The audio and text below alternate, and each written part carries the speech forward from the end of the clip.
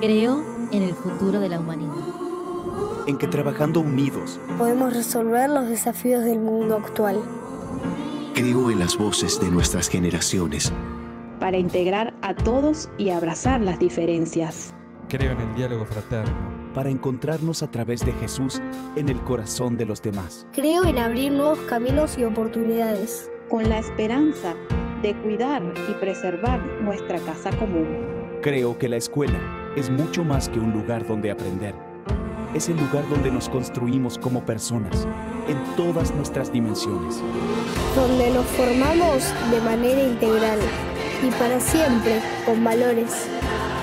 Creo en una escuela donde crecemos al servicio de nuestra comunidad. Porque allí surgen los protagonistas de la creación de un mundo mejor. El mundo con el que todos soñamos. Todos queremos y todos creamos. Creo, el Sistema Educativo Católico de Santillana.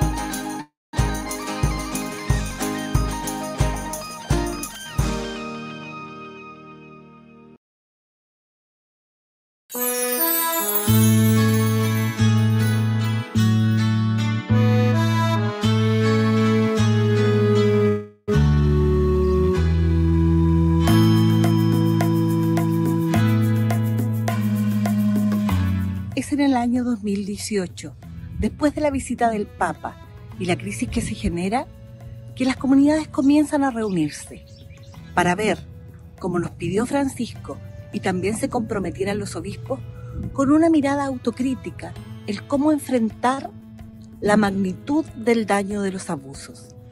Este es el origen del proceso nacional de discernimiento, donde se nos ha invitado a reconocer, interpretar y elegir el querer de Dios para nuestras realidades, atravesadas por el dolor de tantas y tantos hermanos nuestros.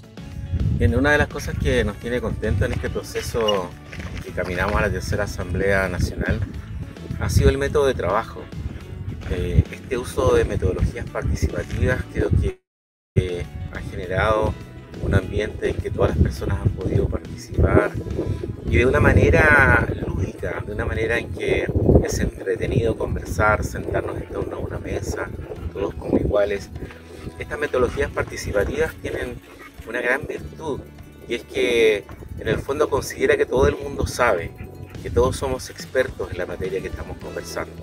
No es necesario traer a un experto que nos explique las cosas, sino que a partir de la experiencia de cada uno va apareciendo esa mirada de la realidad, esa experiencia de fe, esa mirada esperanzadora, ha dejado aparecer el sensus fidei, fidelium, el sentido de la fe de nuestro pueblo creyente, creo que eso ha sido algo muy positivo. A fines de 2019, este proceso se ve cuestionado e interpelado por la crisis social que se desató en el país, donde el clamor por injusticias y los abusos de diversos tipos también nos llevaron a relevar que la dignidad de toda persona era una problemática transversal en nuestra sociedad. A este proceso que vivimos conjuntamente entre la crisis eclesial y la crisis social, se sumó la pandemia. Y a pesar de las dificultades y los temores, muchas comunidades queriendo seguir a Cristo se hicieron presentes en medio de los hermanos que más lo necesitaban. Y así la vivencia, la experiencia de la comunidad, de la solidaridad, se hicieron presentes. Pero de a poco, y animados por la experiencia de la Asamblea Latinoamericana, nos comenzamos a reunir de manera remota para retomar con ese espíritu este proceso. Allí se recogió, por ejemplo, lo vivido el año 2019 y 2020 con el informe de sistematización. Iniciamos este camino desde nuestra experiencia herida en la Iglesia de Chile, pero nos hemos sentido tan alentados y confirmados por el llamado del Papa al sínodo de la sinodalidad que también ha dado un nuevo impulso a este camino que lo siento como un tiempo del Espíritu. En este proceso de discernimiento nacional ahora viene un hito importante. Vamos a celebrar la tercera Asamblea Eclesial Nacional, donde como una porción del pueblo de Dios queremos discernir lo que Dios nos viene pidiendo durante todo este tiempo. Queremos con mucha humildad optar decididamente por el Evangelio de Jesucristo para que desde Él podamos tener relaciones más evangélicas, estructuras más sinodales y poder decidir ser esa iglesia sinodal, profética y esperanzadora que pone Jesús en el centro para estos tiempos y que vivimos en Chile.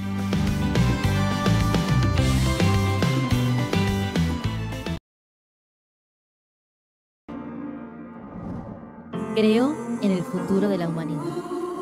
En que trabajando unidos podemos resolver los desafíos del mundo actual. Creo en las voces de nuestras generaciones. Para integrar a todos y abrazar las diferencias. Creo en el diálogo fraterno. Para encontrarnos a través de Jesús en el corazón de los demás. Creo en abrir nuevos caminos y oportunidades. Con la esperanza de cuidar y preservar nuestra casa común. Creo que la escuela es mucho más que un lugar donde aprender. Es el lugar donde nos construimos como personas, en todas nuestras dimensiones. Donde nos formamos de manera integral y para siempre con valores. Creo en una escuela donde crecemos al servicio de nuestra comunidad. Porque allí surgen los protagonistas de la creación de un mundo mejor.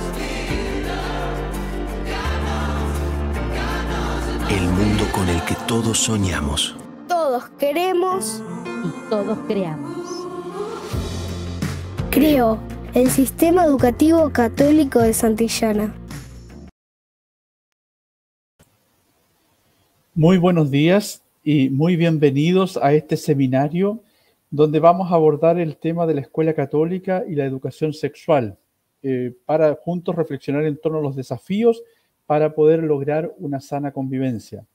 Queremos agradecer a las instituciones que han colaborado y que están en este equipo organizador, el Centro de Educación Sexual Integral CESI, eh, el Instituto de Bioética de la Universidad Finisterra y también Santillana Chile, que nos ha colaborado y está colaborando en esta transmisión. A nombre del área de educación de la Conferencia Episcopal, queremos darle la más cordial bienvenida e invitarlos a que hagamos de esta mañana un momento de reflexión, de encuentro en torno a una temática que es tremendamente importante para el quehacer de la Escuela Católica eh, con la intención de seguir colaborando en la formación integral de niños, niñas, adolescentes y jóvenes en nuestros colegios. Vamos a iniciar este encuentro dándole la bienvenida a Monseñor Alberto Lorenzelli, obispo auxiliar de la Arquidiócesis de Santiago y presidente del área de educación de la Conferencia Episcopal, quien nos va a dar algunas palabras, eh, alguna motivación y nos va a invitar también a que podamos poner esto en las manos del Señor. Bienvenido, don Alberto. Muy buenos días. Muchas gracias. Una alegría poder estar eh, aquí presente y agradecer con eh, sentidos de gratitud a, primero de todo, a Roberto Pavés, a Juan Emilio Araya del área de educación de la SECH, por eh, todo este trabajo de coordinar este seminario.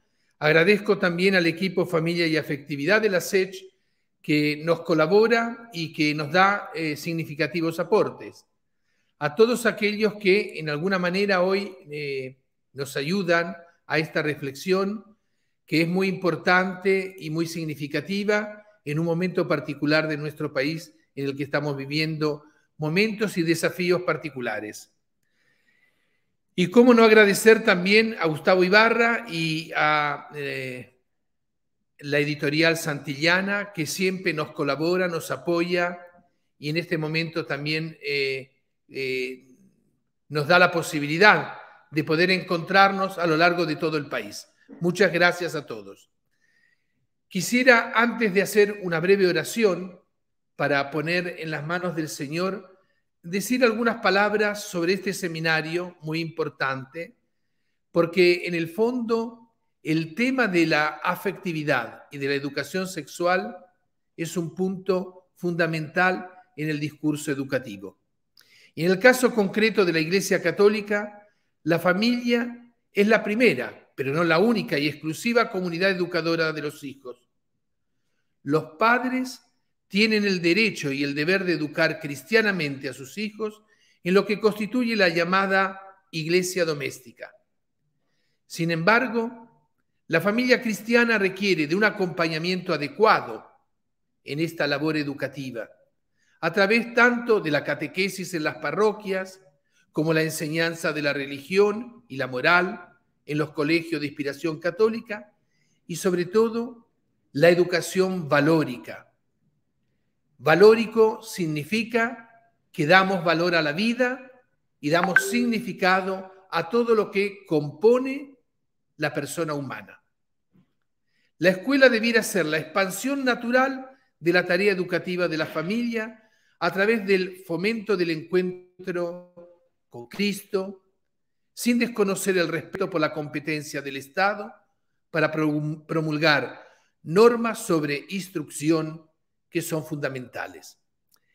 En el ámbito de la educación afectiva y sexual, la doctrina católica establece que ésta debiera realizarse siempre bajo la supervisión de los padres, tanto en casa como en los centros educativos escogidos por ellos.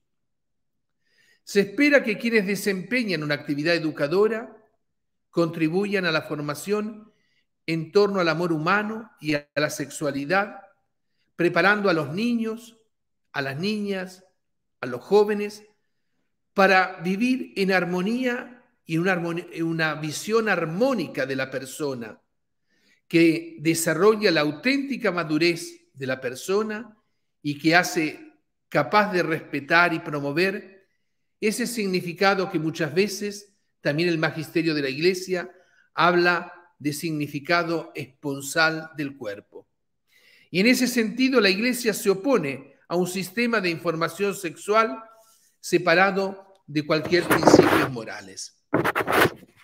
Quisiera aprovechar de este momento también para llamar la atención porque estamos en un proceso, un proceso constitucional, que nos verá el 4 de septiembre a expresar nuestro parecer. Pero quisiera retomar lo que los obispos de Chile han indicado respecto a este borrador de constitución, sobre todo en temas que vamos a tratar hoy en el seminario. Primero de todo, en el punto 23 dice, una de las responsabilidades esenciales de la familia es la educación de los hijos, un derecho y un deber insustituible e inalienable que no puede ser totalmente delegado o usurpado por otros. La propuesta constitucional sostiene el deber del Estado respecto a la educación, pero no es del todo clara en expresar un derecho preferente y directo de los padres de educar a sus hijos. Solo expresa la libertad de madres, padres, apoderadas, apoderados y tutores legales a elegir el tipo de educación de las personas a su cargo. El artículo 41 del eh, borrador de constitución. Pero cuando se aborda la educación en la afectividad y sexualidad, el texto constitucional expresa el derecho de toda persona a recibir una educación sexual integral que promueva el disfrute pleno y libre de la sexualidad, la responsabilidad sexoafectiva. En ningún momento se establece la responsabilidad de los padres y la importancia de incorporar su participación en la educación en la afectividad de sus hijos. Se deja solo en manos de la autoridad la determinación de los planes y programas, restringiendo el Estado un derecho innato de los progenitores en la educación de sus hijos. Me parece que este horizonte también eh, nos lleve a fijar y a poner con fuerza algunos principios, porque la educación afectiva, sexual, eh, son desafíos de nuestra sociedad. No queremos hacer solo eh, una reflexión de tipo moralístico, pero sí la armonía del crecimiento y de la madurez humana de nuestros niños y nuestros jóvenes es un punto fundamental en donde también como escuela católica nos sentimos desafiados, pero por el otro lado, como lo fuimos haciendo en todos estos tiempos, continuar porque queremos la serenidad, la tranquilidad, el crecimiento sereno y armónico de nuestros niños y de nuestros jóvenes. Por eso, pongamos en las manos del Señor en este momento eh, este seminario, agradeciendo nuevamente a todos aquellos que nos colaboran, aquellos que harán sus ponencias y reflexiones, para que nos sintamos iluminados y que el Señor, con el buen sentido que muchas veces nos manifiesta, nos dé los criterios y sepamos también formar las conciencias. Entonces, a María, nuestra Madre, la Virgen María, a ella que supo aceptar la vida y educar su hijo, y en particular un hijo excelente, porque era el Hijo de Dios, a ella ponemos en sus manos su bendición y su orientación en nuestro camino de hoy. Dios te salve María, llena eres de gracia, el Señor es contigo. Bendita eres entre todas las mujeres y bendito es el fruto de tu vientre Jesús. Santa María, Madre de Dios, ruega por nosotros pecadores, ahora y en la hora de nuestra muerte. Amén. Y el Señor esté con ustedes. y la bendición de Dios Todopoderoso, Padre, Hijo y Espíritu Santo, descienda sobre ustedes, ilumine nuestro seminario y traiga la paz en el corazón de cada uno de ustedes. Muchas gracias. Muchas palabras por eh, animarnos también en, este momento de oración. Eh, queremos agradecer su presencia, su aporte y la orientación que constantemente da en su rol de pastor de nuestra iglesia. Muchas gracias y también queremos dar la bienvenida eh, a Paulo López. Eh, él es doctor en bioética y académico del Instituto de Bioética de la Universidad Finisterra.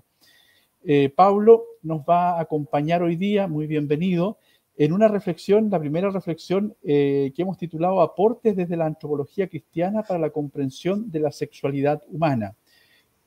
Paulo también es parte del equipo, como recordaba don Alberto, de este equipo asesor en materias de familia, afectividad y sexualidad, al igual que el, siguiente exponente que vamos a presentar dentro de un rato. Eh, muy bienvenido, Pablo. Eh, por favor, a todos los que están participando, les invitamos a que puedan elaborar preguntas eh, a medida que Pablo vaya exponiendo, de tal manera que tenemos unos 20 o 30 minutos después como para poder dialogar con ambos expositores. Entonces ustedes las pueden hacer a través del chat y nosotros las vamos a ir agrupando estas preguntas para luego planteárselas tanto a Pablo como a Daniel. Así que muy bienvenido Pablo. Eh, muy buenas, buenos días. Un, placer para mí. Gracias por la invitación en primer lugar y un placer compartir con ustedes este tema que, que es un gran desconocido y a veces se habla mucho y veamos también especialmente qué significa dentro de la antropología cristiana este gran tema de, la sexualidad y cómo educar en la sexualidad. Yo he titulado a la, a la presentación La sexualidad como expresión del amor humano. Y antes de, comenzar con, nuestra presentación, me gustaría plantear algunas premisas fundamentales para el trabajo, es decir, cuáles van a ser estas como coordenadas que nos van a guiar en el trabajo. Una de las primeras coordenadas es la siguiente, la sexualidad humana es parte de la capacidad de amar que Dios ha inscrito en el hombre y en la mujer. Esta coordenada para mí es fundamental a la hora de entender lo que significa la sexualidad, humana. ¿Por qué? porque la sexualidad no solo implica un elemento esencial de nuestra propia condición humana, sino que la sexualidad implica un elemento eh, agregado a esta condición de humanidad, implica esta capacidad de amar, en todo sentido y como un don dado por Dios. Segundo, eh, las siglas que están acá son siglas de documentos de la Iglesia, eh, que yo voy a después presentar al final para no alargarme tanto. En Gaudium Spes se dice, el misterio del hombre solo se aclarece en el misterio del verbo encarnado. Cristo, el nuevo Adán, manifiesta plenamente el hombre al propio hombre y le descubre la grandeza de su vocación. Si nosotros dentro del ámbito de la sexualidad queremos saber qué cosa es la sexualidad y queremos descubrir en esa sexualidad nuestra verdadera humanidad, tenemos que mirar a Cristo. No existe otra forma, porque es en Cristo en donde se encuentra plenamente el propio hombre. Y esta es una dimensión extremadamente importante a la hora de hacer un análisis de la antropología sexual. En tercer elemento, que es el texto de Amoris Letizia, es necesario, como dice Francisco, comprender la vida de las personas, con rostros concretos que sufren, se alegran y gozan, como un proceso que va de lo imperfecto a lo más pleno. Al igual que en la fe nosotros nos definimos como peregrinos, en la sexualidad también somos peregrinos y peregrinos que van transitando, a veces con mayor acierto, a veces con menor acierto, y para mí esta expresión de Francisco es muy válida a la hora de hablar de estos procesos de encuentro y de educación sexual, porque nosotros caminamos siempre de lo imperfecto hacia lo más pleno. Y como dice también el Evangelio, algunos podemos llegar al 100%, otros al 20%, otros al 30%, otros al 10%, pero lo importante es hacer ese proceso. Y como último punto, en la catequesis para las personas homosexuales, que es un texto del año 86, dice, los seres humanos por consiguiente son criaturas de Dios, llamadas a reflejar en la complejidad de sus sexos la unidad interna del Creador. Ellos realizan esta tarea de manera singular cuando cooperan con Él en la transmisión de la vida mediante la recíproca donación esponsal, que marca la pauta fundamental de lo que significa la antropología sexual. Pero también es un elemento para discutir, también es un elemento para ponerlo a la luz de todo lo que nosotros hoy día conocemos, especialmente el aporte de las diferentes ciencias, en esta medida de que la fe también se va construyendo con el aporte de la cultura. Entonces, estas van a ser las premisas fundamentales que van a guiar nuestra discusión. Yo me hago la declaración de intención, yo soy personalista desde la bioética personalista, que significa lo siguiente, para mí la idea fundamental va a ser siempre que la persona vale por lo que es, y no solamente por las elecciones que hacen. Cada elección existe no solamente el ejercicio de la elección, sino que también esa facultad de elegir, por lo tanto, un predominio importante de la conciencia de la persona, un contexto de la elección y un objetivo de los medios y de los valores. Por lo tanto, mi visión en esta presentación parte dentro de la antropología sexual, es una visión de la bioética personalista. Eh, en la historia de la sexualidad, como ustedes ya mismo sabrán, la vivencia de la sexualidad en la historia del magisterio de la iglesia y de toda la historia de la iglesia ha tenido luces y sombras. Nosotros hemos pasado por diferentes procesos a la hora de comprender la sexualidad. Algunos que han sido muy eh, importantes para el desarrollo de la vida de la cultura y otros que han limitado este desarrollo de la vida de la cultura. Y así podemos hacer un gran proceso histórico. Hoy día nosotros también recogemos esas luces y esas sombras a la hora de cuáles han sido los aportes que la cultura le ha dado a la teología católica. Algunas de esas luces, como ustedes lo ven acá, está entender, por ejemplo, la sexualidad como proceso. No la sexualidad como algo que viene ya dado o, caído del cielo, sino que la sexualidad en nosotros se entiende hoy día como un proceso. El segundo elemento que nosotros recibimos de la cultura es el valor de la diferencia sexual.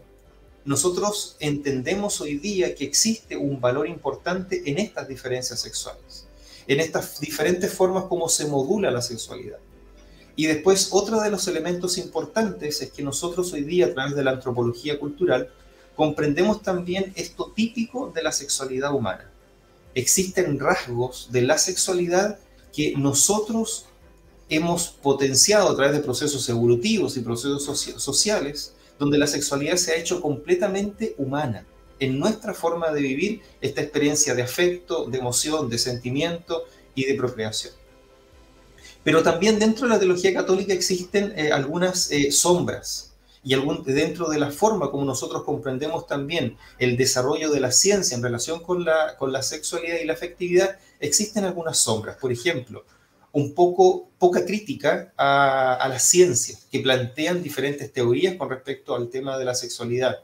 Muchas veces al interno de la iglesia está falta de profetismo, porque nosotros muchas veces seguimos repitiendo consignas o frases que hemos aprendido, hemos escuchado, pero que no calan en lo que realmente los textos magisteriales o la mentalidad de nuestra iglesia o de nuestros pastores tienen a la hora de hablar de sexualidad. Y el tercer elemento es esta gran pugna, que de seguro usted ha ido a escuchar acerca de las grandes formas de entender cómo se debe manejar la sexualidad en la relación entre la pastoral y el magisterio algunos eh, conferencias episcopales que piensan una cosa, algunos párrocos que piensan otra, algunos obispos que piensan otra, y muchas de ellas están en desajuste o en desacuerdo a las palabras del magisterio. Y esta pugna muchas veces provoca gran dolor y confusión en las personas. ¿Existe una sexualidad humana o qué cosa es esto de la sexualidad humana? Para ya comenzar con nuestro tema. Primero, la sexualidad es un modo de ser cuando yo me levanto en la mañana y me tengo que afeitar, cuando escucho mi voz, hoy día que estoy un poco resfriado, así que por eso no, se escucha tan bien la voz, eh, yo soy sexual. Desde el momento que yo me levanto, desde el momento que sueño, desde el momento que me relaciono con las demás. Por lo tanto, la sexualidad es un modo que yo tengo de presentarme a cada uno de ustedes.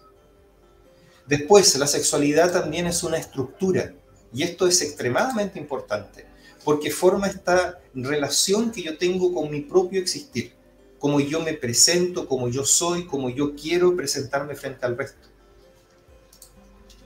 La sexualidad también conlleva una, una autopercepción, es decir, cómo yo me percibo, cómo yo creo que soy, cómo yo creo que, eh, que me presento frente a los demás, cómo yo muestro mis emociones o qué tipo de emociones muestro la sexualidad también conlleva la propia corporidad, porque yo para expresar mi sexualidad, para manifestar mi propia sexualidad, tengo este cuerpo, no tengo otro. Y es una corporidad que también me afecta. Piensen, por ejemplo, en todos los grandes problemas acerca de identidad y manifestación de la propia sexualidad que tienen nuestros propios adolescentes cuando pasan por este proceso de adolescencia, de cambio. La sexualidad es un estar en el mundo. Ustedes me, perciben y me acogen a mí con mi propia sexualidad. Esto también tiene toda la reglambre cultural que significa la propia sexualidad, a través de procesos como la identidad de género, eh, el conocer y el querer. Yo conozco y quiero también expresado a través de una propia sexualidad, a través de lo que llamamos identidad con, el, con la orientación sexual. Cómo los otros me miran, también tiene que ver con esta dimensión de la sexualidad. Los otros me miran de una, cierta forma. Y ser acogidos por ellos, como los otros también me van acogiendo. Por lo tanto, cuando nosotros hablamos de sexualidad, hablamos de una realidad, y esto, si quieren, lo, lo escriben por ahí, hablamos de una realidad existencial. Esa sería una definición. La, hablar de sexualidad implica esta dimensión de la existencia. Yo existo como ser sexual. Propiamente hablando, cada uno de nosotros no tiene una o la sexualidad, sino que nosotros somos sexuados, en un sentido masculino o en un sentido femenino. La sexualidad es una conformación estructural del ser humano y caracteriza al ser humano como ser hombre o como ser mujer. Y esta es una dimensión extremadamente importante de nosotros. ¿Qué es la sexualidad? Eh, es una realidad múltiple. A mí me encanta esto de, la, de, la, dificultad de la hora de la definición, pero de la concretez a la hora de la comprensión. Porque la sexualidad tiene esto de ser una realidad múltiple. Es decir, existen factores físicos, factores psicológicos, que en la persona se transforman en una totalidad unificada. En la unidad de la persona, las dimensiones, por un lado, psíquicas de la sexualidad, desempeñan una función hermenéutica en relación con los datos somáticos del cuerpo que le aporta. El sexo corpóreo es una realidad específicamente humana, ya que integra la totalidad de la persona y es experimentado por un sujeto humano. Familiares Consorcio es el que retoma este concepto de totalidad humana. Nosotros somos diversidad de aspectos, pero que en mí, por ejemplo, en Paulo López, se hacen uno. Y eso implica una dimensión que es difícil de lograr. Lograr la unificación de la persona en esta totalidad unificada siempre es un proceso a construir, es un proceso a realizar. Por una cosa muy fundamental, nosotros somos seres temporales. Y en esa temporalidad nosotros siempre vamos cambiando. Algo se conserva, pero también algo se va adaptando. Por lo tanto, la sexualidad no es solo sexo, no es solo género, sino que también implica nuestra dimensión de trascendencia. Somos sexo, somos género, somos esta dimensión de trascendencia y en nosotros se da esta totalidad unificada. Como bien lo dice ahí eh, el texto de eh, Familiares Consorcio número 11. Eh, aquí me quiero detener un segundo. Este elemento, que se ve como muy sencillo, es extremadamente difícil de irlo comprendiendo. ¿Y por qué? Eh, porque nosotros en la realidad que especialmente hoy día vivimos es una realidad que fragmenta todo. Por ejemplo, nosotros hoy día vivimos una dimensión donde esto, la dimensión trascendente de la persona, está extremadamente carente. Una dimensión a donde, a donde muchas veces se sobreexplota la dimensión de lo sexual, de lo físico, de lo biológico o de la propia identidad de cada uno de nosotros, o la dimensión cultural de lo que nosotros somos. Cuando nosotros hablamos de totalidad unificada, hablamos de un proceso de integración. Un proceso de integración que es necesario partir con un proceso de conocimiento personal. Y es ahí donde la fe, donde la espiritualidad, donde el acompañamiento, donde la vida comunitaria tienen un rol importante y especial en los procesos educativos. Por eso que hablar de totalidad unificada es un proceso excelente a la hora de plantearse estas metas educativas de lo que significaría la formación en educación sexual. ¿Cuál es el sentido teológico de lo sexual? Eh, y esto es algo que muchas veces eh, no reflexionamos lo suficiente, que en el principio, en el Génesis, como diría el Papa Juan Pablo II, donde se encuentra esta raíz cárdine de lo que nosotros comprendemos por sexualidad dentro de nuestra antropología cristiana, la sexualidad es catalogada por Dios como buena. Dios vio que todo lo que había creado era buena. Inclusive está eh, división sexual entre hombre y mujer y que tiene un sentido profundo. Ahora, esta división tiene un esquema porque nos ayuda a comprender todo desde un principio. ¿Cuál es la primera condición que tiene desde el sentido teológico de la sexualidad? Primero, la sexualidad es una realidad mundana. Mundana no significa algo despreciable, sino que mundana significa distinta a lo divino. En Dios no existe lo sexual sino que lo sexual implica, y este es el segundo punto, identifica lo propio de lo masculino y lo femenino, la forma como se comprende la realidad. Y aquí yo hago siempre una explicación pedagógica, no teológica, sino que pedagógica para entenderlo esto, este elemento de la identificación. El hombre y la mujer implica el 100% de la comprensión de la realidad. Pero si yo quiero tener ese 100% de la comprensión de la, toda la realidad, la realidad se comprende como 50% masculino, 50% femenino. Eso significa esta identificación propia. Cuando nosotros queremos apreciar la realidad, la realidad se dice en masculino y en femenino. Y eso es algo que a veces también escapa de nuestra comprensión a la hora de comprender esta dimensión sexual desde la teología. Tercer elemento, la sexualidad es la fuente de la vocación de nosotros como persona creada a imagen y semejanza de Dios. Nosotros somos llamados a la sexualidad y nuestra sexualidad es la forma como nosotros podemos acercarnos a esa vocación primera de todo ser humano, que es la vocación al amor. Y en cuarto lugar, la sexualidad es parte de esa semejanza y aspiración a ese don divino en el hombre, amar como Dios nos ama. Si la vocación del hombre es el amor, la sexualidad es la forma como nosotros expresamos y manifestamos esa vocación de Dios. Porque fíjense, la sexualidad no hace otra cosa sino que asemejarnos a esa actitud amorosa que Dios tiene y nos invita a esa actitud amorosa. ¿Y cómo se entiende eso? Y aquí viene la, segunda lámina. Esto no es tan fácil comprenderlo en unas charlas que son a veces muy cortitas y apretadas en el tiempo. Pero tratemos de ver si podemos hacer el proceso. Primero, la pregunta es si la sexualidad es una forma como nosotros tenemos de responder a ese amor con el cual Dios ama, primero tenemos que partir de la pregunta, ¿cómo es el amor de Dios? Y el amor de Dios tiene algunas notas características. El amor de Dios es total, es fiel, es exclusivo y es fecundo. ¿Qué significa que el amor de Dios sea total? Significa que cuando Dios ama, se entrega todo en ese amor. Ejemplo de eso, el sacrificio de su Hijo en la cruz. ¿Qué significa que Dios sea fiel? La palabra fiel se puede entender de dos formas. Se puede entender como eh, estar siempre centrado y obediente a la palabra que se ha empeñado, pero la palabra fiel también significa este sentido de único. Cuando Dios entrega su palabra para ser fiel al pueblo de Israel, esa fidelidad Dios no la traiciona aunque el pueblo de Israel la traicionó muchas y muchas veces. Dios es fiel porque cumple su palabra. No solamente acompaña en el camino, que es el segundo sentido de la fidelidad, sino que es fiel porque cumple su palabra. Ese es el amor de Dios. Si Dios da su promesa con un sí, ese sí no se retracta. En tercer lugar, el amor de Dios es exclusivo. ¿Y qué significa que sea exclusivo?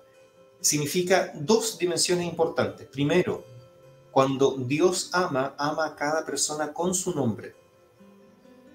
Y conoce a la persona que ama. Esta gran dimensión que hablaba los padres de la iglesia entre el amar y el conocer. Cuando Dios ama, conoce. Y cuando nosotros conocemos a Dios, lo amamos. Por lo tanto, el amor de Dios es para cada una de las personas que componen esta gran eh, naturaleza histórica de cada uno de nosotros durante toda la historia de la humanidad. Y en cuarta nota distintiva del amor de Dios, el amor de Dios es fecundo. Como dice el Salmo, no hay palabra de Dios que salga de su boca que no provoca fruto, al igual que la lluvia. El amor de Dios siempre produce algo, siempre germina. El hombre es un ser hecho a imagen de Dios, por lo tanto comparte estas notas distintivas que son en Dios plenas, y lo hace por medio de esta vocación del hombre al amor. Por lo tanto, estas notas distintivas de la sexualidad se dan en el hombre a través de esta vocación del hombre al amor. Nosotros también podemos amar como Dios ama. ¿Y cómo, cómo se identifica esta nota distintiva en nosotros? A través de la categoría de total, fiel, exclusivo y fecundo. ¿Y cómo nosotros lo expresamos? A través de esta dinámica a través de que el otro es un don recibido por mí y yo debo ser un don también para los otros. Esta que está aquí sería la hermenéutica fundamental para comprender cómo nosotros podemos realizar en, a modo humano esta dimensión del amor que es pleno en Dios. ¿Cómo se comprende dentro de la antropología sexual católica? Se comprende bajo estas dos notas distintivas. Ah, bueno, a esta a esta nota hermenéutica hay que incluir lo que significa el dominio y la dominación de, uno mismo. Pero nosotros entendemos que la forma como se vive el amor y la sexualidad al interno de la antropología sexual católica tiene estas dos notas, la esponsalidad y la vida consagrada. ¿Por qué la esponsalidad y la vida consagrada? Que lo vamos a discernir un poco más abajo. Porque la esponsalidad implica esta dimensión plena de encuentro con el otro. Y la vida religiosa implica esta responsabilidad plena de no solo el encuentro con otro, sino que el encuentro con el Creador, que serían las dos notas distintivas de la antropología sexual católica a la hora de realizar esta vocación plena del hombre al amor. Sigo con la presentación. Si aquí surgen dudas, después las la, vemos si las aclaramos. Pero esto no todo es, tan bello como yo lo presento al principio, sino que también existe una debilidad en este amor conyugal o en esta forma de manifestar el amor. Primero, esto que yo presenté tiene mucho de utopía y es una de las grandes eh, eh, afirmaciones que se hace a la gran cantidad de los documentos de Juan Pablo II, que cuando se habla del amor conyugal se habla de dimensión muchas veces que es idílica, pero también es necesario sacar ese idealismo y mostrar esto de la utopía de lo que significa el amor conyugal. Utopía no significa irrealizable, sino que significa en camino a realización. Primero, amar de forma total y absoluta en una persona que es temporal a veces cuesta mucho. Y por eso que, como ya lo saben las personas que llevan muchos años de casado, eh, las personas que recién inician un proceso de matrimonio, es importante el acompañamiento para que ese amor de juventud no se pierda en el tiempo. Después, para que realmente el amor conyugal y esta forma de vivir nuestra propia sexualidad alcance este don de plenitud, el amor tiene que estar acompañado siempre por el diálogo, para que esta entrega sea siempre entendida como definitiva, única y para siempre. Si nosotros eliminamos el diálogo de la relación amorosa o sexual, se elimina absolutamente todo. Y fíjense que eso es parte de lo que existe totalmente en Dios como relación perfecta entre las personas divinas, es decir, un diálogo perfecto. Nosotros debemos cultivarlo. En una dimensión metafísica, nosotros también podemos decir en relación con esta debilidad del amor conyugal que somos seres temporales y que vivimos en la esperanza. Por eso que el perdón y el encuentro son dimensiones importantes en esta vivencia de la propia sexualidad y no se puede promover siempre un futuro que muchas veces, especialmente hoy día, se presenta muy incierto. Y por lo tanto ahí es necesario tener esta comprensión también de lo que significa la temporalidad en nosotros. Y en tercer elemento existe una dimensión moral. El hombre y la mujer no siempre se abren al don en la relación. Esto de lo que significa realmente la entrega gratuita a otra. Peor aún, si dentro de las etapas formativas no han potenciado o no formado esta dinámica de lo que significa el acompañamiento, de lo que significa el perdón, de lo que significa el diálogo, de lo que significa la, la relación. ¿Y por qué? Porque nosotros tenemos una naturaleza herida, producto del pecado original, donde el hombre se inclina siempre hacia sí mismo, este amor suyo, que también dentro de la dimensión antropológica tiene un peso importante. Y simplemente termino con la frase de San Agustín, esta, esta pasada rápida de la antropología sexual católica, donde dice, dos amores han dado origen a, dos ciudades, el amor a sí mismo, el amor sui, hasta el desprecio de Dios, y la terrena, el amor de Dios, hasta el desprecio de sí, la ciudad celeste, para ver este combate también que existe a la hora de comprender las dimensiones amorosas. Eh, ¿Cómo vivir el amor conyugal? Que son notas también importantes, y esto hago una pasada rápido.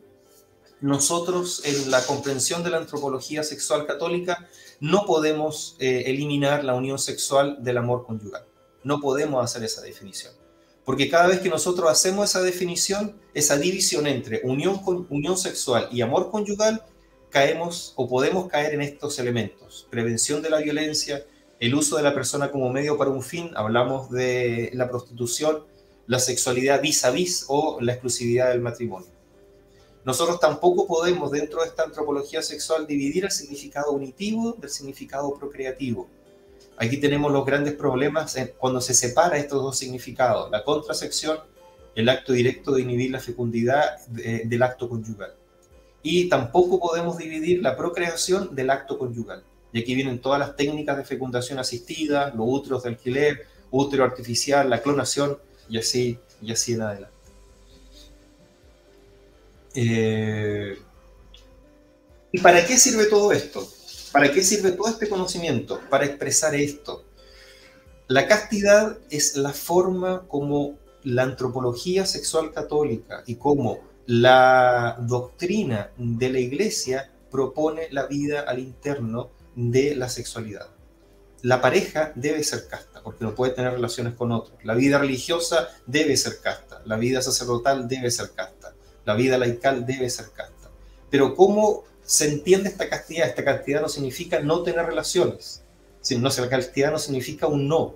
Y me, gusta mucho la definición de este documento que se llama Sexualidad Humana, Vida y Significado, eh, que plantea la definición de la castidad como esto. La castidad es una energía espiritual que libera el amor del egoísmo y de la agresividad. En la misma medida en que el hombre se debilita la castidad, su amor se hace progresivamente egoísta, es decir, deseo de placer y ya no don de sí mismo. Esta frase es una frase que va totalmente en contra del mundo que nosotros vivimos hoy día. Un mundo que podemos caracterizar muchas veces de hedonista, donde la dimensión del deseo y la necesidad es como lo primero que tiene que satisfacerse, donde existe poca tolerancia a la frustración, donde las personas que trabajan en colegio esto lo ven constantemente y donde una formación, creo yo, especialmente hoy día, es totalmente carente. Cuando nosotros hablamos de castidad nos referimos a estos elementos, la educación en la pureza de pensamiento, en la pureza de intenciones y de la mirada, la educación en el pudor y la modestia, en una justa intimidad, en el autodominio, en el ejemplo y el liderazgo de los padres. Fíjense que esos pequeños reglones que yo he puesto ahí abajo pueden ser perfectamente el contenido didáctico de la formación en sexualidad en los colegios. Porque implica ese sentido profundo de lo que significa para nosotros la totalidad unificada, la dimensión del cuerpo, la expresión del amor y esa, esa esperanza que nosotros tenemos o aspiración a vivir como Dios ha pensado la humanidad en nosotros. Y para, terminar, hablemos un poco, un poco de, eh, de la diversidad sexual, de la homosexualidad y algunos aspectos pastorales. Es importante siempre el acompañamiento. Todos somos hijos de Dios. Y en ese proceso de demostrar y manifestar el amor que Dios nos tiene, el acompañamiento a todas las personas son importantes. En los jóvenes es necesario en algunos procesos intervenciones psicopedagógicas focalizadas, que implica simplemente el proceso de ayudar a conocernos. El tercer elemento, dentro de la Iglesia Católica muchas veces existen estas eh, concepciones homosexuales egodistónicas, es decir, con una valoración extremadamente negativa, inclusive muchas veces culposa de lo que significa la homosexualidad. Y para eso es necesario hablarlo esta dimensión del diálogo yo decía en un momento. Por eso que estas conferencias o estas charlas ayudan a plantear el tema. Después, si, hay, si existen signos de neurosis, de represión, es necesario un acompañamiento con psicoterapeuta. En este acompañamiento, los resultados de conversión o de cura de la homosexualidad, nosotros sabemos que no llevan a ningún lado. ¿sí? No es una decisión a curar, sino que es un proceso de acompañar. Y eso es importante tenerlo claro. Los conflictos a menudo se expresan como acting out, es decir, un comportamiento con un tono de rabia, de hostilidad, que tiene muchas veces de negación, de justificación o de proyección de nuestra propia realidad. Eso también es necesario moderarlo. Acuérdense que dentro de nuestra propia concepción teológica, el encuentro cariñoso y de acogida con el otro son fundamentales. Y tercero, esto de las, impulsiones, eh, las, pulsiones autodestructivas que son mucho más comunes en hombres que en mujeres, que también es necesario irlas revisando y viendo, especialmente en los procesos educativos. Cuando nosotros vemos estos procesos a veces de, de peligro o de daño que muchas personas se realizan porque están despertando una identidad sexual o están despertando un proceso de encuentro y de conocimiento de su propio afectos y desarrollo sexual y lo hacen de una forma que a veces puede llegar a ser autodestructiva, es necesario que las alarmas despierten y iniciar procesos de acompañamiento. Por lo tanto, la sexualidad no es algo que yo realizo solo, sino que realizo en compañía con otros. ¿Cuáles son las metas de este acompañamiento? No solamente del acompañamiento de aquellas personas que presentan, eh, el acompañamiento de toda la sexualidad, superar la autodenigración, salir del aislamiento, abrirse a la amistad desinteresada, aprender a gestionar las pulsiones. Fíjese que esta dimensión de las metas del acompañamiento va muy de la mano con lo que nosotros hablamos de antropología sexual, de lo que significa el diálogo y esta actitud a aspirar a esta plenitud del amor. ¿Cuáles son los medios de acompañamiento? Educación al valor de la sexualidad, socializar y servir, oración y vida sacramental y, si es necesario, acompañamiento psicológico. Estos perfectamente podrían ser todos los medios que una institución educativa podría tener a la hora de realizar un acompañamiento en esta formación sexual de nuestros jóvenes. Ahora, cuando nosotros hablamos de estos procesos, no podemos olvidar esto, la ley de la gradualidad. Recuerden que la vida espiritual es un itinerario. ¿Qué significa la ley de la gradualidad o esta forma de comprender este proceso de peregrinaje de la sexualidad en mi propia vida? Se entiende de la siguiente forma, y es un texto, una, una de las formas metodológicas de comprender los procesos de la fe, que lo realiza primero Juan Pablo II, después lo toma Francisco en Amor y Leticia. Y dice lo siguiente, no todos nosotros llegamos a conocer, amar y realizar el moral bien, el, el, bien moral de la misma forma, sino que nosotros conocemos distinto, amamos distinto y tratamos de practicar el bien de forma distinta. Eso no significa que unos sean mejores que otros, sino que eso significa que todos vamos de camino y un camino que va de lo imperfecto a lo más perfecto. ¿Dónde se encuentra el punto de anclaje en ese conocimiento de lo perfecto? En dos puntos fundamentales. Uno, la propia conciencia de la persona y el acompañamiento de las personas cercanas. Por eso que aquí la dimensión eclesial es tan importante en este proceso. Pero las personas es necesario comprender que van en un camino que va de lo imperfecto a lo perfecto plantear altos objetivos, principios específicos y la paciencia infinita en estos procesos de acompañamiento. Eh, y después, en confesión, distinguir esto de la homosexualidad ocasional, reincidente y habitual, que también es importante para estos procesos de acompañamiento. Me salto lo de los estados de vida y nos vamos a esto para no alargarnos tanto. ¿Cuáles serían algunas orientaciones prácticas sobre el tema de la sexualidad? Este es un documento del año 95 y por lo tanto parto con algunas eh, atenciones antes. Este es un documento que plantea cuál sería el ideal de los elementos formativos al interno de eh, un proceso de acompañamiento. Eh, hoy día, lógicamente, tenemos situaciones contextuales que escapan a lo que este documento tenía pensado en el año 95. Elementos como cuáles, por ejemplo, la pandemia, que podemos, podemos poner un, tema así como más común, de lo que significa que muchos menores de edad se encuentran eh, eh, viendo pornografía. Y eso es un tema importante que pasa en nuestros colegios.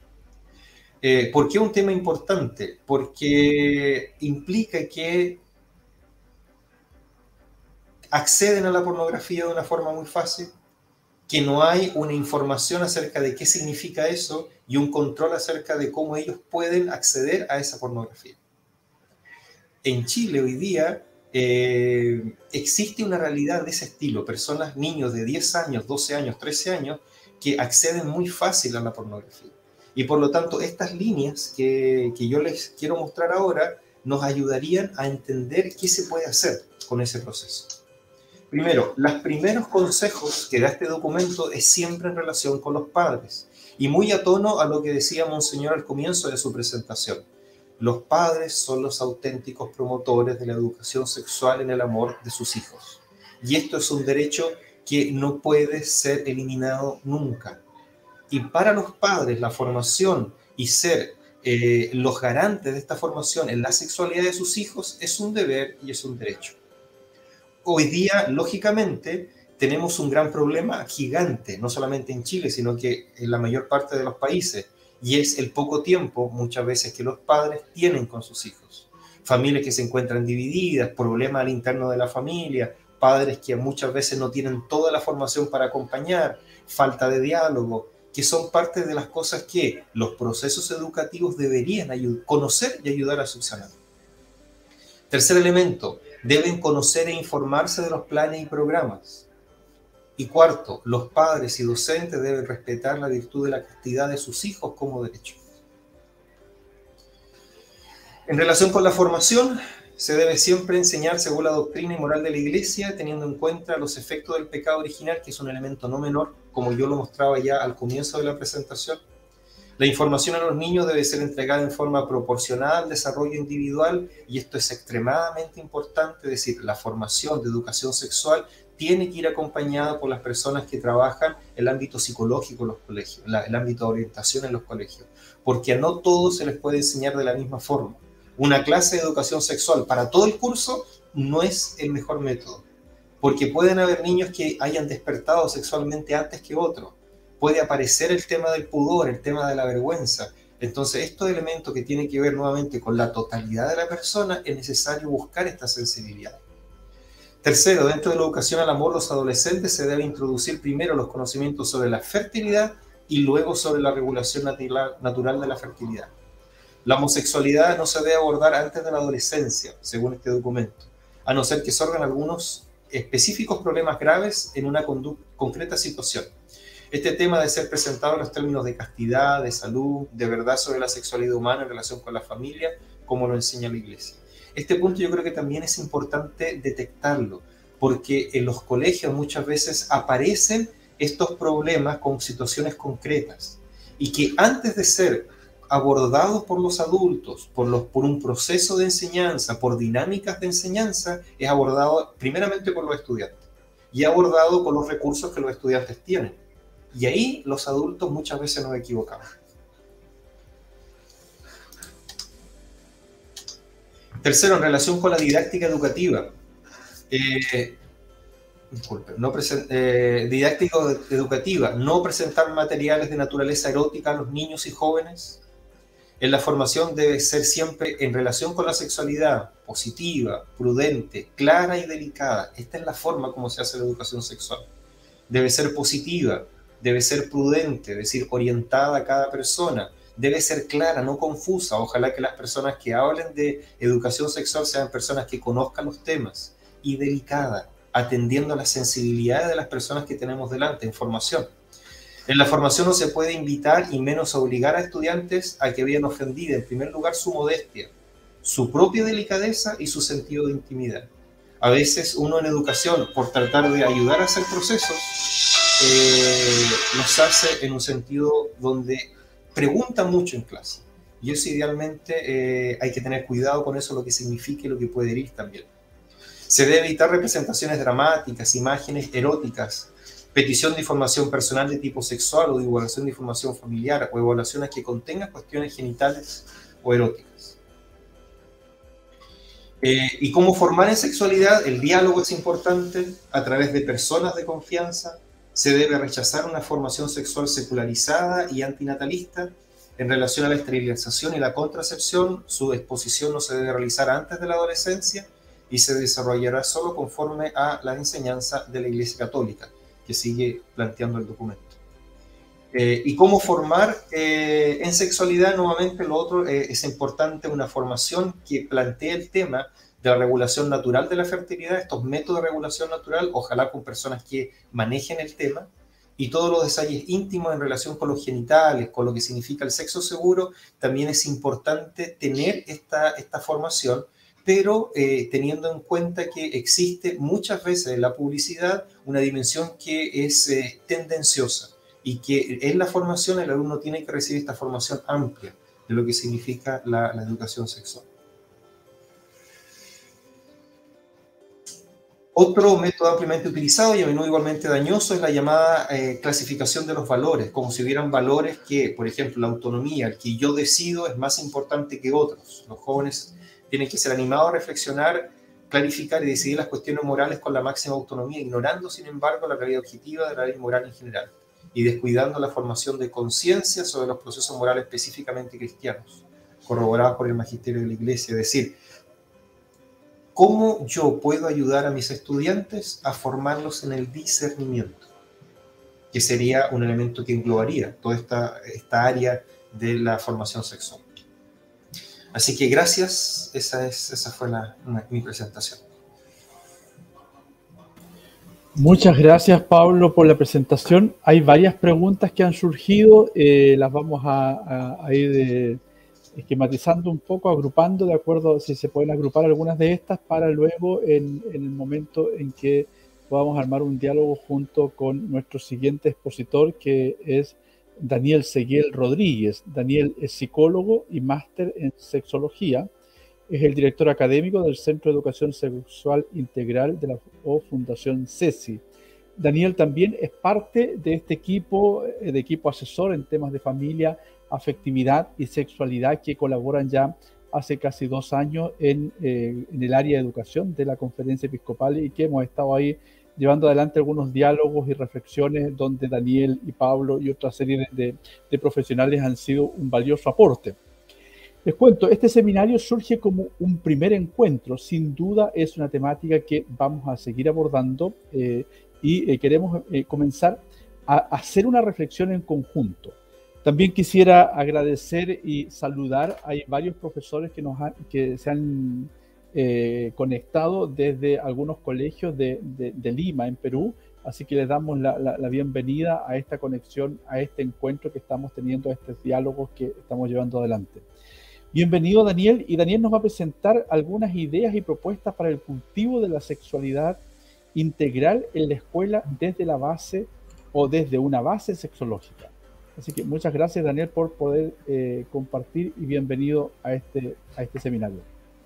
Muchas gracias Roberto. Eh, bueno, gracias a todas y todos los conectados en este momento a través de las plataformas de Santillana y a la gente que, que ha estado desde el comienzo de la presentación escuchando la idea y aprovecho de agradecer a Paulo por su excelente presentación, donde ya entrega una mirada bien, bien em, detallada sobre eh, la doctrina, la antropología sexual de la Iglesia Católica. Para eh, ustedes que trabajan en escuelas católicas es importante conocerlo. Ahora, desde mi, eh, desde mi punto de experiencia, ¿no? desde mi formación, eh, yo estoy en otra vereda porque estoy en la vereda de la sexología, que es una disciplina en sí misma, que estudia el sexo y hay cosas obviamente que van a parecer muy, muy cercanas a la presentación de Paulo y hay otras donde yo obviamente no me voy a meter porque ya son temas específicos de la antropología cristiana y no es mi expertise aquello, así que por respeto también a ese conocimiento, yo ese, esos asuntos no los voy a poder analizar muy bien. Eh, quiero saber si están, están viendo la pantalla, me indican por interno ahí el equipo de Santillana si ya se está compartiendo. Perfecto, creo que sí. Em, por supuesto, eh, también sé que han habido preguntas en el chat de YouTube, así que especialmente para Pablo, porque dejó muy, ideas muy interesantes a debatir, así que eh, al final de la presentación mía va a haber un espacio para poder dialogar y responder cada relator lo que requiera. Eh, bueno, yo hoy día voy a ir a algo súper concreto, no les voy a quitar mucho tiempo. Eh, conozco y he podido visitar muchas escuelas, colegios católicos de Chile y también he tenido la experiencia en algunos colegios fuera del país. y entiendo algunas de las necesidades que están ocurriendo en estos últimos años y que en realidad no son tan nuevas, son necesidades que vienen arrastrándose desde hace bastante tiempo en relación a los cambios culturales, al acceso a la información, pero también a la formación que tenemos eh, como em, guías, como adultos que quieren ser una luz que ilumine el camino de niños, jóvenes y también las familias, ¿no? que, que acompañan eh, activamente los procesos del desarrollo de cada uno de nuestros estudiantes. Em, tengo la fortuna de haber trabajado también en escuelas, por lo tanto me tocó a mí ser parte eh, como encargado de convivencia escolar, que acá en Chile es un, es un estamento ¿no? dentro de la escuela que se dedica a revisar esto y otros temas tan interesantes que a veces parecen desconectados, ¿no? Eh, violencias, eh, drogas, abuso de sustancias, qué sé yo, y sexualidad, ¿no? Parece que todo estaría un poco desconectado y eso eh, nos provoca una sensación muchas veces de, de estar naufragando, ¿no? tratando de salvar lo que, pueda, lo que podamos dentro de un mar que es muy, muy, muy complejo y con una tormenta, ¿no? Que día a día se va además siendo más, más potente.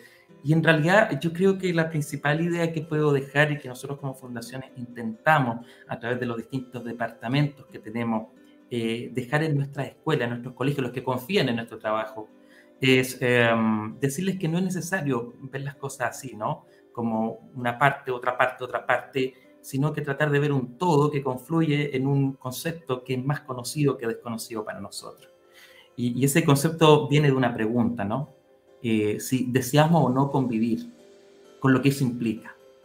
Y como bien lo dijo Pablo, y ahí estoy absolutamente de acuerdo, eh, la sexualidad no puede verse como un aspecto más. Primero tiene que verse como un aspecto, una dimensión humana, eso es lo primero. Y segundo, es una visión, es una dimensión que está en el ser humano desde que nace hasta que muere y que está dentro de los deseos de relacionarse con otros. O sea, es parte del desarrollo de las relaciones interpersonales. Para no decir que es el, motor. O sea, si no estuviera esta identidad sexuada de el hacernos diferentes a razón de sexo, no hay tampoco cómo explicar el por qué nos queremos encontrar con esos otros de otro sexo, ¿no? E, eso, eso no tendría ningún sentido.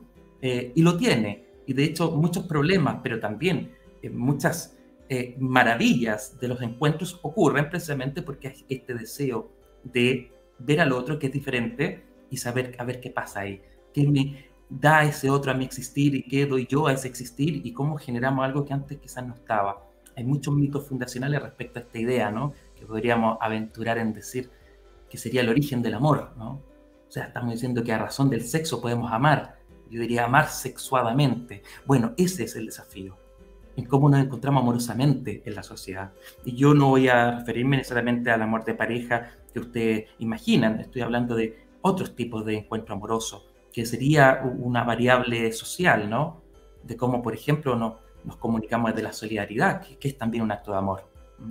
Eso, sin tener en cuenta el sexo, bueno, nos deja bastante difícil la, tarea. Eh, pero claro, ustedes dirán, ¿cómo? Entonces estás diciendo que el sexo no es aquello que nosotros imaginamos como conducta. Tal vez no. Tal vez ha sido un falseamiento del concepto inicial de sexo y, que ha traído sus problemas, ¿no?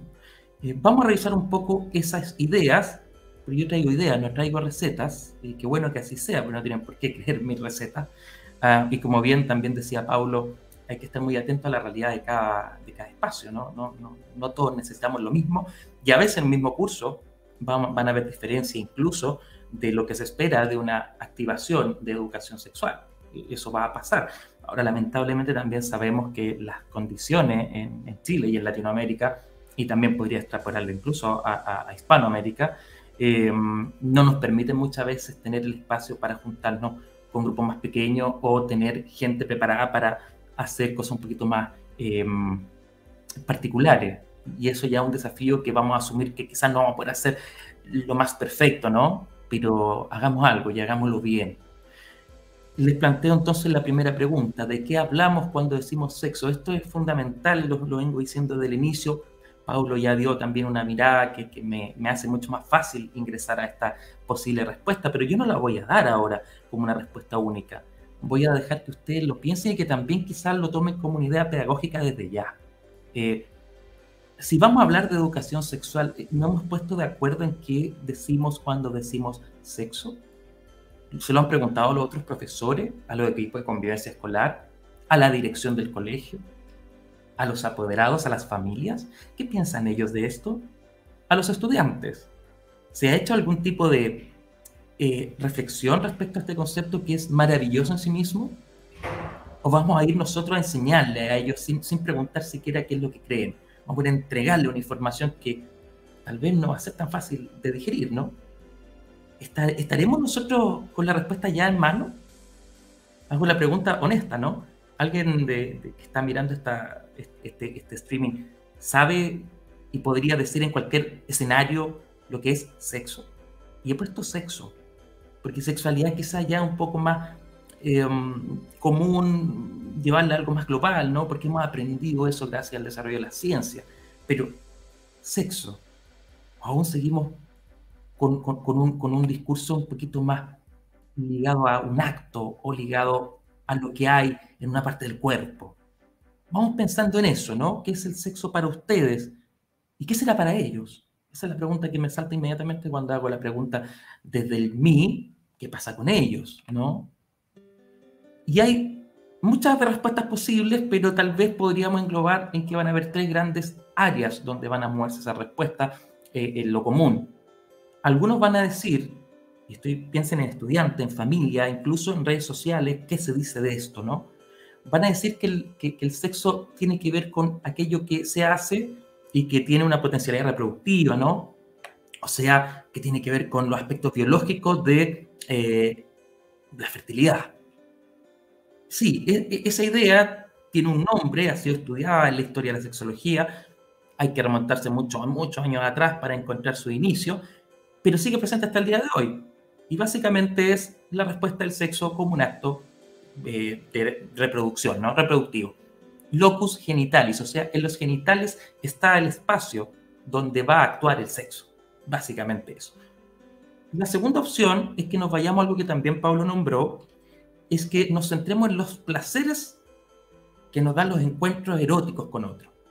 obviamente nos vamos a ir a un enfoque más erotizante y nos vamos a llevar entonces eh, las ideas hasta un foco donde lo principal para debatir y pensar es aquello que nos sucede en el encuentro con otros y otras, muchas veces encuentro de pareja, intimidad, y ahí ustedes verán, por ejemplo, propuestas más ligadas a la prevención de embarazo, prevención de ITS, ¿no? Eh, también de eh, cómo pasarla bien en pareja, eh, y va a aparecer el concepto de placer, muchas veces asociado al erotismo como si fueran iguales, y no lo son. Y peor aún, a veces asociado al placer con sexo, que es un concepto distinto, pero se asocia como si fuera lo mismo, y eso ocasiona bastantes conflictos desde la escuela hasta la familia. Pero hay una propuesta que es más moderna, porque estas dos podríamos situarla en la historia de la humanidad bastante tiempo atrás, una en la antigüedad, la otra por ahí en la Edad Media ya, ¿eh? donde van tomando protagonismo.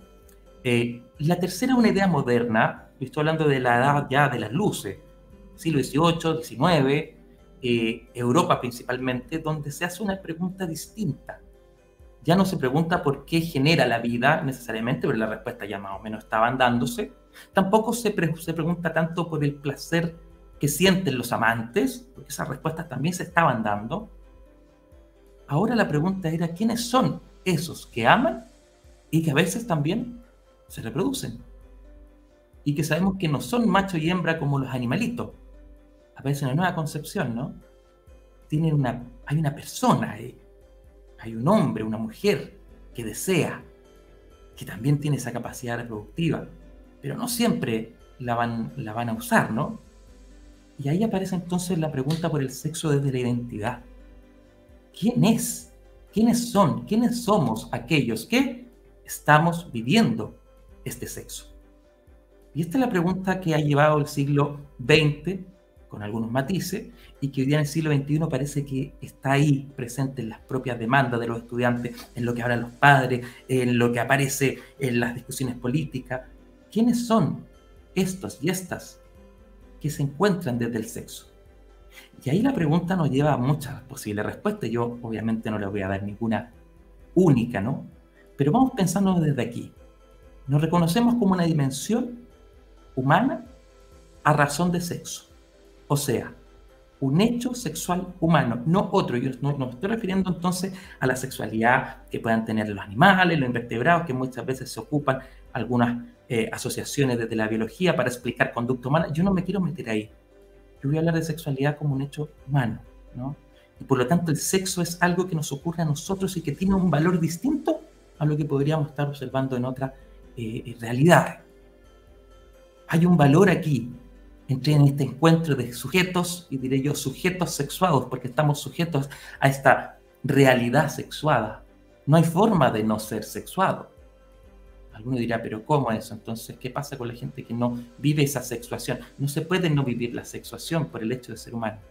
No es algo que uno elija y no es algo que se acabe y no es algo que concluya una edad o que comience una edad. Principal error de muchos planteamientos de los programas de educación sexual es que asocian la sexualidad a un hecho coital. Por lo tanto, claramente uno establece una edad donde más o menos se podría dar por ciertos motivos culturales, qué sé yo, la iniciación de esos actos y desde ahí comienza el sexo. Eso, eso, eso está absolutamente fuera de línea desde el planteamiento sexológico. Incluso por lo que estoy viendo, lo que ha expuesto Pablo tampoco iría en la línea de lo que propone la doctrina eh, cristiana, porque el sexo no es lo que se hace con los genitales, es aquello que somos y que nos permite encontrarnos y también desencontrarnos con otros, que también son sexo. Y algunos deciden, por ejemplo, eso que estoy mostrando ahí, ¿no? Desde sus diferencias, crear algo nuevo, algunos dirán un proyecto de vida, eh, un, compartirse, pero también eh, nacen niños, niñas, producto de ese compartirse. O sea que este es un proyecto mucho más interesante que solamente dedicarnos a una conducta específica. Entonces, asociar la educación sexual a una conducta específica, especialmente genital, yo no voy a decir que está mal, pero voy a decir que eso no, es, no alcanza a ser educación sexual. Eso puede ser una instrucción genital, con las mejores intenciones, está bien, está bien que se haga, muchas veces hay duda al respecto, ¿no? Pero no es ahí el foco de la educación sexual si realmente la queremos hacer en variable de sexo. Tenemos que preguntarnos por estos hombres, mujeres y niños, ¿no? Que aparecen en la ecuación. ¿Quiénes son? ¿Qué desean? ¿Por qué están ahí? ¿Por qué dejan de estar? ¿Y cómo se relacionan entre ellos? Nuevamente, la variable convivencia. ¿Cómo conviven los sexos? Que siempre son diferentes, tanto en los grandes modos como también dentro de las matices que tienen los modos. Yo soy un hombre distinto al que es el otro hombre que está a mi lado. Y eso es una maravilla. Esa es una riqueza. Por supuesto, es más complejo mirarlo así. Pero eso yo creo que es el desafío del siglo XXI. Mirarlo en complejidad y no llevarlo a una cosa tan simple que finalmente nos va a quitar la riqueza. Entonces, sexo en variable epistemológica para nosotros, desde la fundación, desde el programa, viene de la raíz sexus, que tiene directa relación con el verbo secare, y algunos por aquí sabrán que tiene que ver con esta acción de dividir algo que era uno en más de uno, ¿no? A veces en dos, podríamos decir. Tiene que ver con la diferenciación. Tenemos una base común, la humanidad.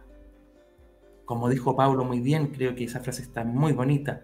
La realidad siempre está en masculino y femenino para ser la realidad completa. No existe el 100% masculino y 100% femenino como realidad, porque a la base compartimos la misma raíz. Y luego nos vamos diferenciando, ¿no? Y esa diferenciación que siempre está eh, en concordancia con la temporalidad y nosotros diríamos por la biografía de cada sujeto, por el ambiente de cada sujeto, también por los aspectos condicionantes de la propia biología, del cuerpo. No se puede desestimar uno por el otro, ¿no? Bueno, todo eso va a confluir en esto, que finalmente sería la respuesta a la pregunta, ¿qué sexo es aquello que soy. ¿O de qué sexo estoy siendo? Que sería más práctico preguntarlo así. Y esa pregunta es existencial. ¿Quién soy yo a raíz del sexo que soy? Siempre diferenciado de otros sexos. Y bueno, y desde ahí, ¿cómo vamos a llevarnos? ¿Y cómo vamos a entender esta diferencia? Algunos dirán, bueno, eliminemos la diferencia, seamos todos iguales podría parecer simple el planteamiento, ¿no? Eliminemos el sexo y así todos somos iguales, no hay diferenciación. Y yo diría, cuidado, porque ahí estamos perdiendo la riqueza también de ser diferenciados. Porque si no, estamos mirando todo, todo con el mismo ojo, ¿no? Y eso se ha visto algunas tendencias también en educación sexual que desde la buena intención terminan finalmente negando las diferencias y generamos un conflicto. Porque es maravilloso ser diferentes. Lo que no es maravilloso y lo que sí debemos eh, analizar es que hay diferencias arbitrarias que se asumen respecto a ciertas condiciones, conductas, eh, deseos y que generan jerarquías. ¿no?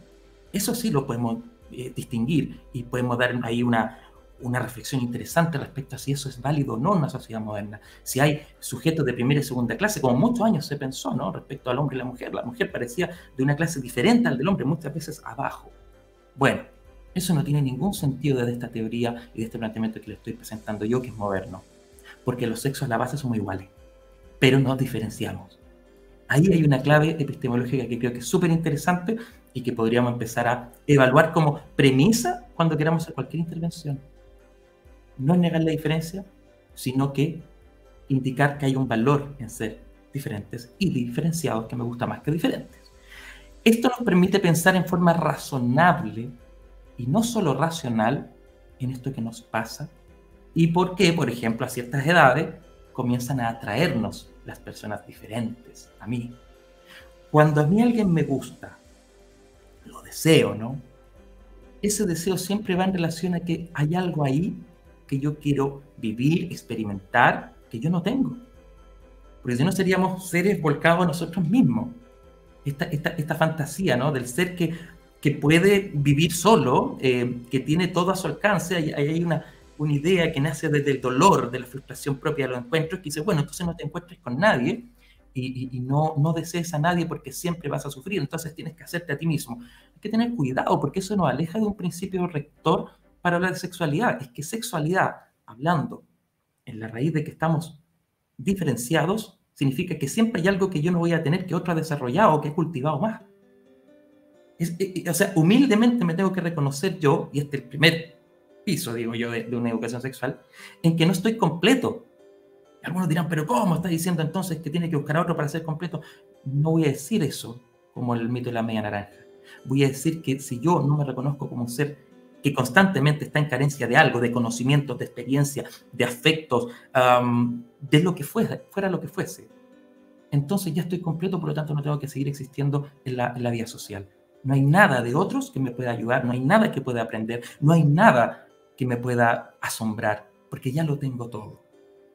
Y eso es un error, creo yo.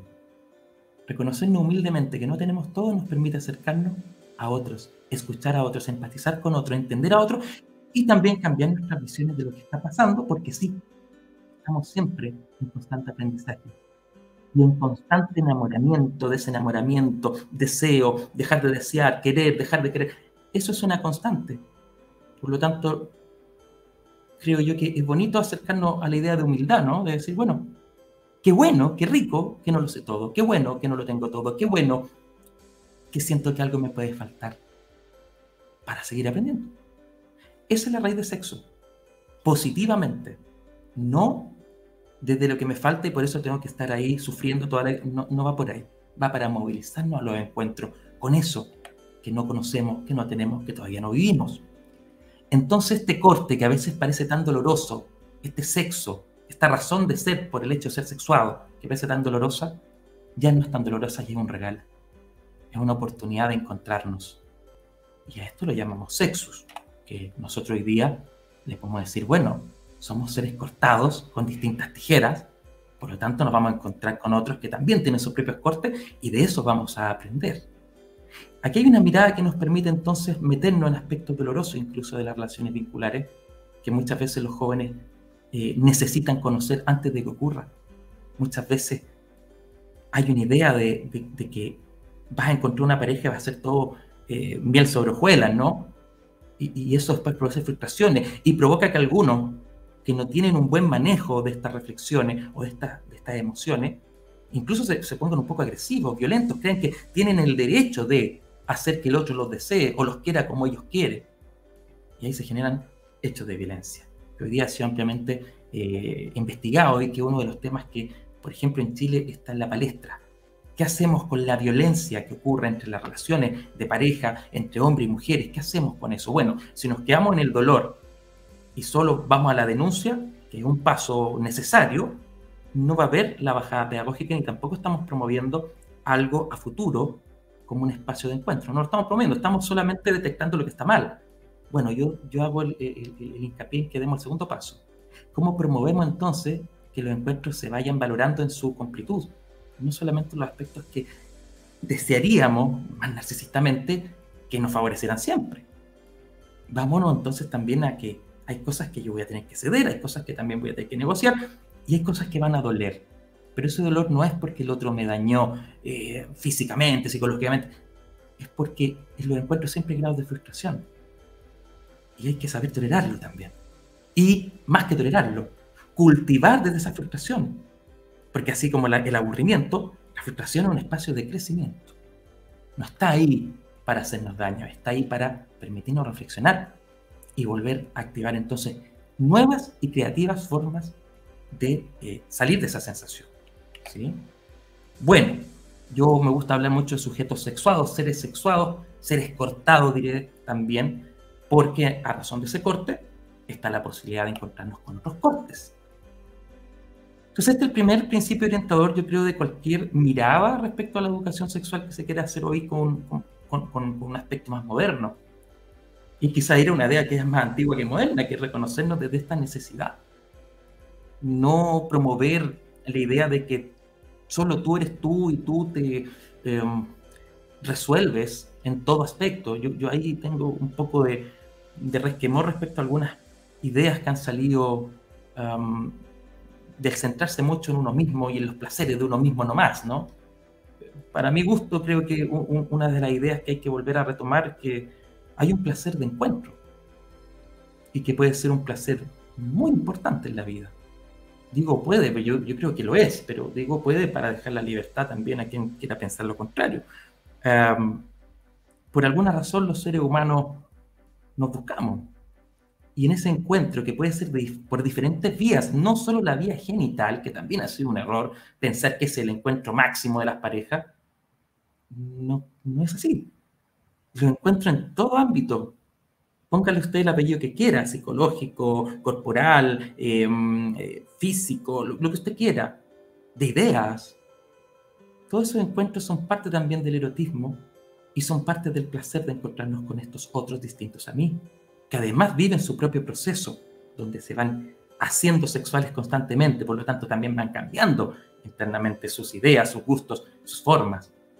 Y este proceso de encontrarnos con ese otro y seguir sintiendo que este otro me suma, me nutre, me permite también aprender de esta experiencia, Ricardo Caponi la llamó como el erotizar el mundo interno del otro erotizar esta relación, no solamente una parte del cuerpo, no solamente un sentido, sino erotizar este vínculo, esta relación, este, este estar con el otro, con la otra. Y eso es una, es una clave de convivencia. Y es una convivencia placentera. Que no estoy diciendo que va a ser siempre así, ojo, lo vuelvo a repetir. Van a haber momentos de frustración, pero la frustración siempre va a depender de las capacidades que uno tenga para resolver el desafío. Por lo tanto, no siempre va a ser un problema. Puede ser un espacio de crecimiento. Lo vuelvo a repetir, porque a veces se piensa que esto solo hay que hablar de lo bonito y, de, lo, y de lo ideal, y así no funcionan las cosas, menos en una dimensión humana tan importante como la sexualidad humana. Ahora, si yo he dicho eso, evidentemente los encuentros van a ser siempre desde diferentes. Eh, algunos van a encontrar mucho mejor que otros, van a haber también desencuentros, pero es parte de la vida. Y la parte digamos, de, la educación en este aspecto siempre tiene que ir eh, ligada a ciertos valores. La educación sexual siempre es valórica. Nos gusta o no, ¿sí? Eh, pueden ser laicos, pueden ser católicos, pueden ser lo que usted quiera, pero siempre va a tener una, una, base valórica. Por ejemplo, si yo promuevo el valor del encuentro, ya es un valor en sí mismo, puedo promover también el valor de la diferencia ¿ah? o el valor de ser sexuados y desde ahí trabajar entonces a promover, más bien cultivar ese valor a través de una propuesta pedagógica y no solamente estar atentos, atentas a los problemas que ocurren o a las dificultades para prevenir. Y aquí hay un salto paradigmático. Hay una educación sexual que se puede mirar hoy por el lado de el cultivo del valor o una educación sexual que se puede ir por el lado de la prevención del daño. Y muchas veces nosotros nos vamos para allá, porque nos parece que es más práctico y que es más urgente, pero lo urgente no siempre es lo importante. Yo les propongo que por lo menos miremos la otra eh, opción también antes de tomar una decisión al respecto. Como les contaba yo, el resultado paradójico, especialmente en la adolescencia, cuando nos vamos encontrando con otros y otras, es que el otro es diferente, por lo tanto, duele. Y eso va a ser así porque no es como yo quiero que sea. Esta, esta reflexión ha sido reiterativa en la, presentación porque creo que es la que podría abrir las puertas de la comprensión de lo que ocurre hoy con redes sociales. Esto que está aquí no aparece en redes sociales y quizás va a ser bueno que lo retomemos inteligentemente, porque pareciera que gracias a TikTok, gracias a Instagram, qué sé yo, uh, cada persona es lo ideal y siempre lo pasa bien y siempre está de mejor ánimo, siempre está radiante, hay filtros para verse mejor, ¿no? Entonces no está la idea de esta frustración, no está la idea del dolor, no está la idea de, del que no pasan las cosas como, como, como deberían pasar según tú, que, que hay un otro que, que, te va a decir que no muchas veces, ¿no? No está esta idea de confrontar algo que no te gusta. Y estamos hoy día en una sociedad que, que chicos, chicas que están creciendo en, en este mundo digital, eh, no están acostumbrados a que le digan que no. Más bien la promesa es yo puedo, yo deseo, yo decido. Y hay un tema que hay que abordar con las familias. Porque aquí hay pocas herramientas de nosotros los adultos por intuición, porque no vivimos eso. Hay un proceso de inversión cognitiva, diría un autor. Eh, ya la realidad se está haciendo desde lo digital hacia afuera y no desde afuera hacia lo digital. Y allá hay un desafío que no puede esperar a primero medio, como dice la ley en Chile, ¿no? Educación media hay que hacer educación sexual. No. Habría que empezar desde muy pequeñitos, con las familias, trabajando, dándoles ideas, dándoles propuestas, dándoles reflexiones, indicándoles también que tengan cuidado con algunas cosas. Y luego ya, cuando los niños y niñas entran al colegio, vamos, armando entonces un mundo relacional más real, donde se puedan gestionar estas emociones. Y ahí la educación sexual toma un punto que es importante desde esta educación sexual, ¿no? Que es el desarrollo socioemocional. No puede haber educación sexual dejando fuera las emociones y los afectos. Es más, no puede haber encuentro de sujetos sexuados sin afectos. No puede. Dividirlo solamente una didáctica. Entonces me disculparán que yo a veces encuentre que decir afectivo sexual es una reiteración. Porque yo cuando digo sexual, estoy con los afectos y estoy mirando eso que ocurre en cada uno en relación a los otros y a sí mismo. No hay forma de dividir esto. Entonces, si nosotros seguimos pensando que la educación sexual tiene que ver con lo que se hace con los genitales, no vamos a perder todo esto. No vamos a encontrar quizá el acuerdo con la familia, no vamos a encontrar el apoyo de los profesores. Porque ¿por qué tendría que estar un profesor hablando de genitales cuando no maneja ese tema con niños? ¿Por qué tendría que estar haciendo eso? Pero sí podemos hablar de los encuentros, sí podemos hablar de la convivencia, sí podemos hablar de nuestros afectos, de lo que nos pasa, de lo que nos gusta, de lo que no nos gusta. Entre paréntesis también, ¿no? Desde muy pequeñito ir, indicando qué se puede hacer cuando algo no nos gusta quién puede proteger a los niños, quién puede ayudar a los niños, a las niñas cuando algo no les gusta, está pasando algo que no les es cómodo. Porque ahí podemos detectar cosas gracias a esta intervención que si no pasan ahí por debajo del agua. Entonces, esto es un llamado a la honestidad. Educación sexual tiene que ser honesta, transparente con las familias, con los profesores, y con los estudiantes, que como dije al principio, también tienen derecho a responder qué es el sexo para ellos antes de nosotros ir a decirle, bueno, esto es. ¿Ah? Entonces aparecen alguna idea que yo quiero sintetizar para ir finalizando también con esta relación de convivir entre los sexos, entre grandes modos. Voy a referirme a dos grandes modos, ¿no? Femenino y masculino, que darán paso entre sus matices y sus peculiaridades a los hombres y las mujeres que somos hoy que no son los mismos que eran hace 100 años, 200 años, 300 años, por favor. Hoy día este tú y este yo tienen la posibilidad de encontrarse de múltiples formas, pero también tienen, quizás por primera vez en la historia con tanto auge, tienen la noción de que son cada uno por sí mismo valiosos. Eso no había pasado antes, como expliqué, con algunas ideas que se habían eh, elaborado respecto al hombre y la mujer en la sociedad. Hoy día sabemos que no es así, que tenemos la misma dignidad, ¿no? Por lo tanto, somos valiosos en sí mismos y nos vamos a encontrar desde ese valer en nosotros mismos, con este otro diferente. Si lo planteamos con el o, tú o yo, la lógica de cualquier pedagogía educativa va a ser eh, dividir poner a uno sobre otro, al otro sobre el otro, eh, estos por aquí, estos por allá, de acá de Venus, de Marte, o como si no compartiéramos la base. Yo creo que la clave de la educación sexual hoy en cualquier eh, mirada tiene que ver con la letra I, en reconocernos en conjunción, tú y yo, él y ella, no o. Dejar esta idea de que los sexos son de planetas diferentes y llevarnos a que tenemos la base común. Y de ahí nos vamos haciendo diferenciados, en modos, matices, peculiaridades, ya no existo. Pero siempre está la I. Yo ya no hablo de hombres o mujeres. Digo hombres y mujeres. Porque en mí también habita mi padre y mi madre. Por lo tanto, yo soy mezcla. Y qué rico. Porque no me gustaría ser solo uno. Me gusta esta mezcla. Me permite ser quien soy a razón de que tengo la I y no la O. Esto entenderlo para los jóvenes y desde muy niñitos para los pequeñitos, ¿no?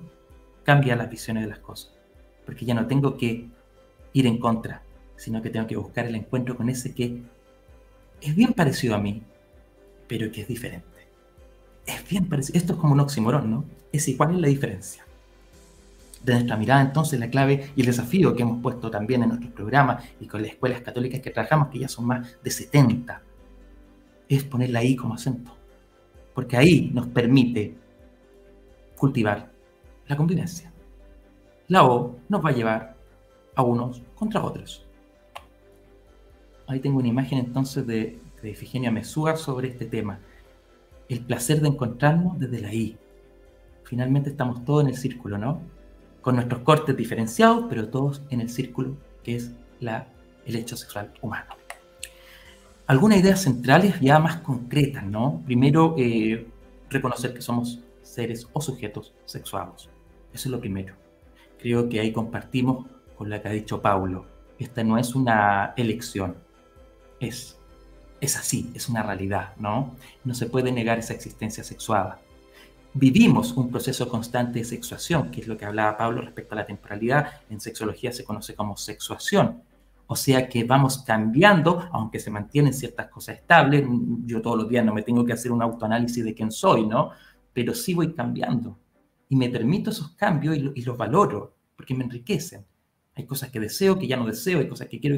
Y eso le va a pasar también a los jóvenes, a, los niños, niñas. Y por ahí, eh, ojo con, la idea de sacar fotos y decir, bueno, aquí llegaste, aquí empezó, aquí te definiste, esto, este es la donde tú... Cuidado.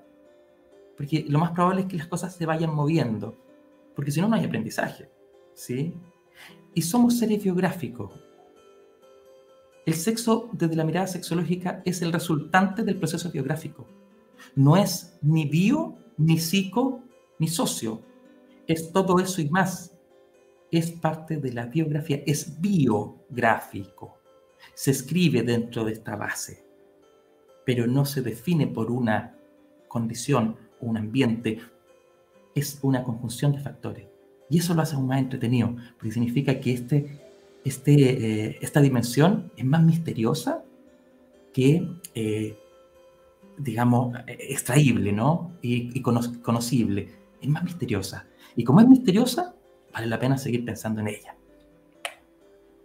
La actitud que proponemos, a diferencia de otros modelos, hay un modelo que irá a prevenir, y en ese prevenir eh, solamente se va a centrar en los aspectos negativos de la sexualidad. Hay otros modelos que van a ir a combatir, van a ir a, denunciar los que no les parece que está bien, puede ser de un lado o de otro, ¿no? Y van a generar entonces una idea de los buenos contra los malos. Hay otros enfoques que van a ir a normar, van a decir, bueno, esta es la manera correcta de hacerlo. Y, al decirlo, también van a caer en el, en el mundo de los buenos y los malos, probablemente en algunos temas pero quizás ahí tienen otra intención, ¿no? Una intención de salvaguardar el bienestar, el desarrollo psicosexual, lo que usted quiera. Pues nosotros promovemos una diferente. Promovemos una actitud de cultivo, entendiendo que el sexo es un valor, no un problema, no algo que hay que sanear, no algo que esté en contra de lo bello. Es precisamente un valor. Y si es un valor, nosotros podemos entonces permitir el cultivo. Pero mira, permitir el cultivo de cada sujeto sexuado, no lo que yo quiero que sean, no lo que yo como profesor, profesora, sexólogo he determinado que es correcto para ti, porque ahí estaría pasando a llevar tu derecho, tu libertad, tu dignidad. La educación sexual no es adoctrinar a nadie, es permitirle pensarse, reflexionarse, para el convivir, para valorarse, para conocerse, pero no va de mí entregarle una receta de quién es quién. No va de mí. Y qué bueno, porque significa que cada sujeto en su libertad va a ir viviendo su proceso de sexuación. Con más o menos éxito, eso será caso a caso, y nosotros como escuela que promovemos la reflexión constante, un espacio seguro donde nos podamos entender a pesar de la diferencia. Eso creo que es el rol de los profesores, no ser sexólogo, no estar dando instrucciones genitales que manejan mejor los médicos. ¿Para qué? esto es mucho más cercano al acompañamiento amoroso pedagógico que las otras propuestas que a veces lo único que hacen es generar angustia y malo entendido. Entonces, si usted me pide a mí qué educación sexual podríamos promover como programa desde nuestra libertad de cada establecimiento, ¿no? con las directrices que tiene el Ministerio de Educación, directrices internacionales, bueno, yo le diría, céntrese en tres grandes objetivos. Que la educación sexual, a razón de sexo, ojo con eso, no tiene otro interés más que permitir que los sujetos se conozcan y se reconozcan en el caso que haya algunas dificultades. Punto dos, al conocerse y reconocerse se pueden valorar como quienes son y pueden valorar a los otros que son diferentes. Y punto tres, cuando ya valoro quién soy yo, quiénes son los otros, empiezo a valorar la convivencia en el encuentro. Y ese encuentro probablemente me va a dar también placeres del encuentro. De distintas vías, de distintas formas, en distintas edades, por supuesto, pero ahí va a aparecer entonces este placer de encontrarse. Desde el abrazo hasta la procreación, va a existir el placer del encuentro. Esto es lo que nosotros promovemos para que las escuelas tengan una ah, brújula, básicamente. Con estos tres puntos ya más o menos podemos ir caminando una lógica sexológica. Entonces, sexo no es lo mismo que sexualidad, por supuesto que no, por lo menos para este planteamiento. El sexo es una clave identitaria, la sexualidad es cómo vivimos esta pregunta, esta respuesta más bien de quién soy o quién estoy siendo a raíz de mi sexo. La sexualidad sería cómo expreso aquello. Y de la sexualidad se abren múltiples em, ideas, que no es momento ahora de, de, abondarla, entre ellas, por ejemplo, cómo me oriento en mi deseo a otros y otras, y ahí yo quiero felicitar lo que dijo Pablo respecto a que em, insistir en la idea de que hay una manera correcta de desear, eh, por lo menos eh, atemporal, ¿no? Y, de hecho, las propuestas psicológicas respecto a cambiar la orientación no tienen en ningún caso resultados esperados y provocan mucho sufrimiento, mucho daño. Así que eso no es un camino que nosotros vamos a aconsejar jamás. ¿no? Al contrario, es como desde mi deseo, de mi vivencia, desde mi existir, voy entendiendo lo que me pasa y voy decidiendo qué es lo que me puede ayudar a cultivar lo que yo soy y aquello que me empobrece también. Porque van a haber situaciones que no me van a servir mucho, que me van a hacer daño, que me van a, a quitar tiempo valioso de este cultivo y ahí entonces mejor ir decidiendo con, buenas herramientas. ¿no? Ahí mejor no, no insistir. He dicho entonces que el sexo hay que tomarlo como un valor desde este verbo sexual. Y yo le invitaría entonces también a usted a no diagnosticar nunca el sexo de alguien. No tiene sentido. La idea es que la pregunta la responda ese sujeto, esa sujeta, ¿no? Y que te va a decir quién, es, que eso es más importante que una denominación de modos o de formas. ¿Quién es? ¿Quién está haciendo? La fotografía que no nos sirve. A los 15 años son así. Bueno, a los 30 son muy distintos. ¿sí? Entonces, mejor veámoslo como una vivencia, una experiencia que es constante cambio, por lo tanto, también los programas tienen que considerar aquello. No hay un programa que resista cinco años sin cambios y no hay una idea que funcione para un cuarto básico que en quinto básico funcione exactamente igual. No, hay que tener estas nociones que, bueno, tenemos algunos manuales que nos indican qué hacer y cómo más o menos podríamos orientar algunas intervenciones eh, en distintos ejes. ¿no? Podemos orientar relaciones interpersonales desde muy pequeñitos, los valores. Fíjense que la UNESCO habla de valores, ¿ah? así que no, no estamos tan alejados de un planteamiento internacional. Eh, los derechos que tenemos también, eh, cómo influye la cultura, eh, los asuntos de género, que Pablo también algo habló de aquello, que tiene que ver con, la, connotación social, ¿no? Eh, yo sí quiero decir que el género no explica la realidad sexual en, totalidad, ¿ah? Ah, no, solamente tenemos que tomar ese enfoque, hay que mirar algo un poquito más global. Habilidades para la salud, el cuerpo, etcétera. Todas estas indicaciones están en el documento del 2018 de la UNESCO y lo pueden buscar, está de libre acceso y nosotros también se los podemos facilitar en algún correo que podamos enviar junto a Santillana. Y para ya cerrar, porque estamos en la hora, solo decir que en Chile, cuando se ha hecho evaluación en la escuela, eh, lamentablemente eh, los resultados son un poco contradictorios, porque si bien por un lado sabemos que los contenidos curriculares, más del 90% está em, de sexualidad genital, digamos, está eh, inscrito en ciencias naturales o biología, como usted quiera, y por otro lado está en la, la asignatura de orientación que trabaja temas un poquito más relacionales, más de identidad, eh, la verdad es que no tenemos los mejores resultados a nivel global, para nada. Eh, por ejemplo, solo el 40% de la escuela al año 2016 habían declarado que tienen un problema de educación sexual. Y nosotros, de hecho, ustedes les preguntamos en una encuesta que por favor necesito que la llenen, que, que entreguen ese dato. Queremos saber si realmente esto ha cambiado o no. Eh, ¿Tienen programa de educación sexual en la escuela? O es solo un programa de instrucción eh, en salud eh, genital, o es solo un programa de prevención de violencias. Honestamente, ¿lo tienen? ¿No lo tienen? ¿Qué necesitan? ¿Se están apoyando con externos? No, porque los datos indican que en Chile muy, pocos, muy pocas escuelas y muy pocos colegios tienen un programa de educación sexual validado, pensado, reflexivo y que esté articulado con el currículo nacional y con la orientación ministerial. Es, muy poco. Ahora, no, no, quiero que se sientan mal con eso, al contrario, que lo vean como una oportunidad, porque aquí tenemos un encuentro que, por ejemplo, está dando algunas luces y podríamos hacer muchas cosas más conociendo esos datos. Así que, por favor, la encuesta que les llegó en el correo, yo les voy a pedir que la revisen, la puedan entregar, enviar ahí para tener los datos más fidedignos y así tal vez eh, cambiar este dato que salió el 2015, donde nos dejaron en último lugar, ¿no? Eh, en cuanto a avances en educación eh, sexual, particularmente, que allá nos habíamos comprometido el 2008. yo creo que esto ha cambiado un poco, pero la idea es que seamos el número uno y que mantengamos algunas propuestas interesantes para las comunidades, respetando, por supuesto, su libertad e integrando a este gran grupo que ya da para otro taller que son los padres y apoderados. No hay programa de educación sexual que funcione que no esté en concordancia con los valores y lo que desean los apoderados y que haga un trabajo con ellos para poder entregarle algunas ideas que les permitan trabajar con sus hijos. Si eso ocurre, estamos haciendo las cosas mal. ¿sí?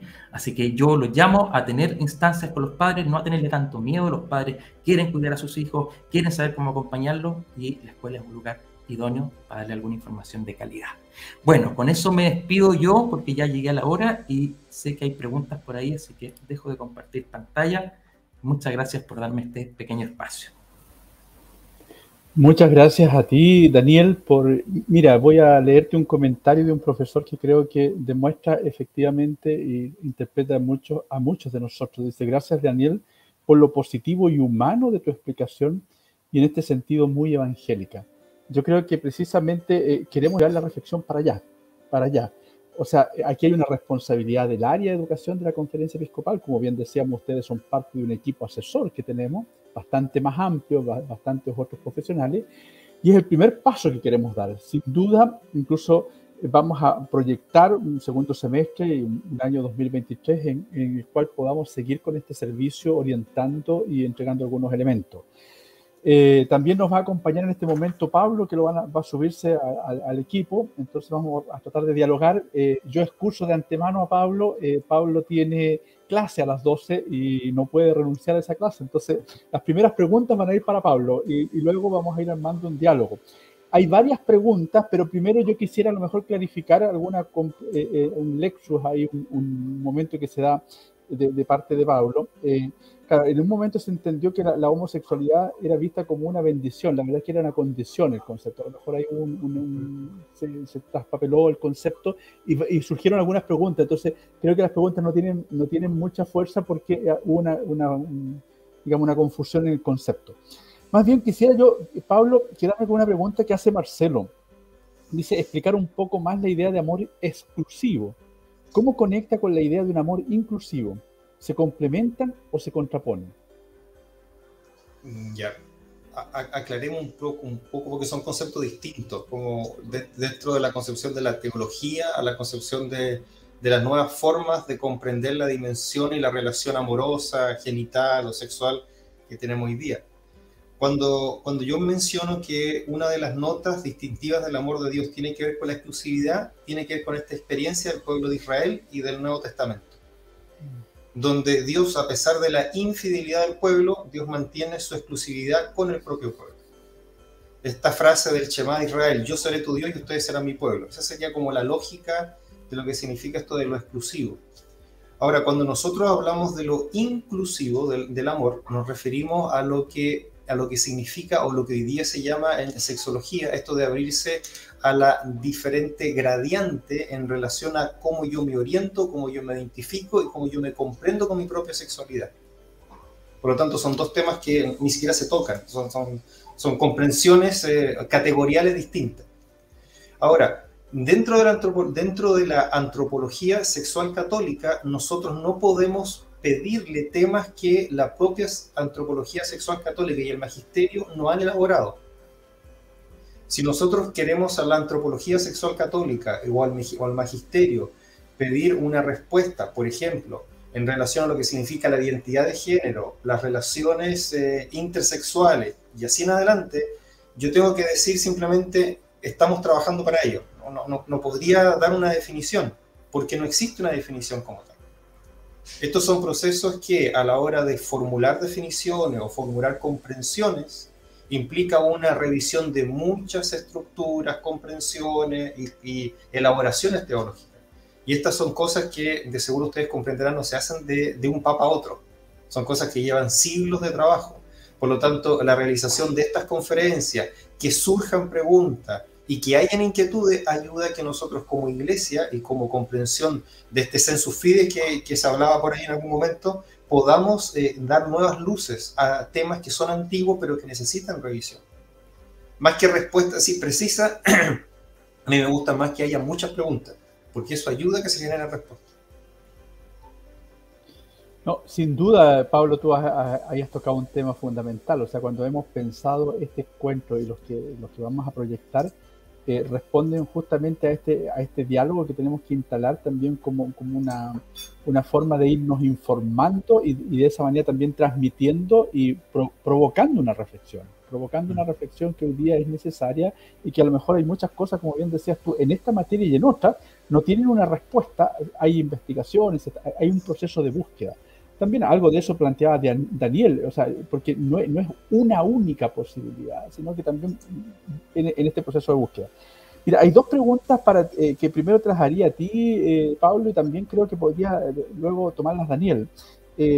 Marcial y, Ana nos plantean preguntas similares. Dice, ¿cuáles son los pasos para dialogar con los padres que ven la homosexualidad como un peligro en la convivencia entre los estudiantes y podría influir en la sexualidad de sus propios hijos.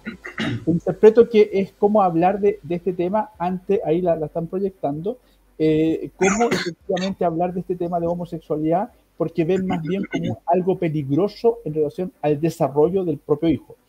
Y en segundo, la segunda pregunta es cómo dialogar con los alumnos, y aquí eh, agrega a Ana Riagada, con los alumnos y los padres de la homosexualidad. Eh, Daniel lo planteó en una parte de su exposición que esto efectivamente no, es un trabajo solo para con los estudiantes en la sala de clase.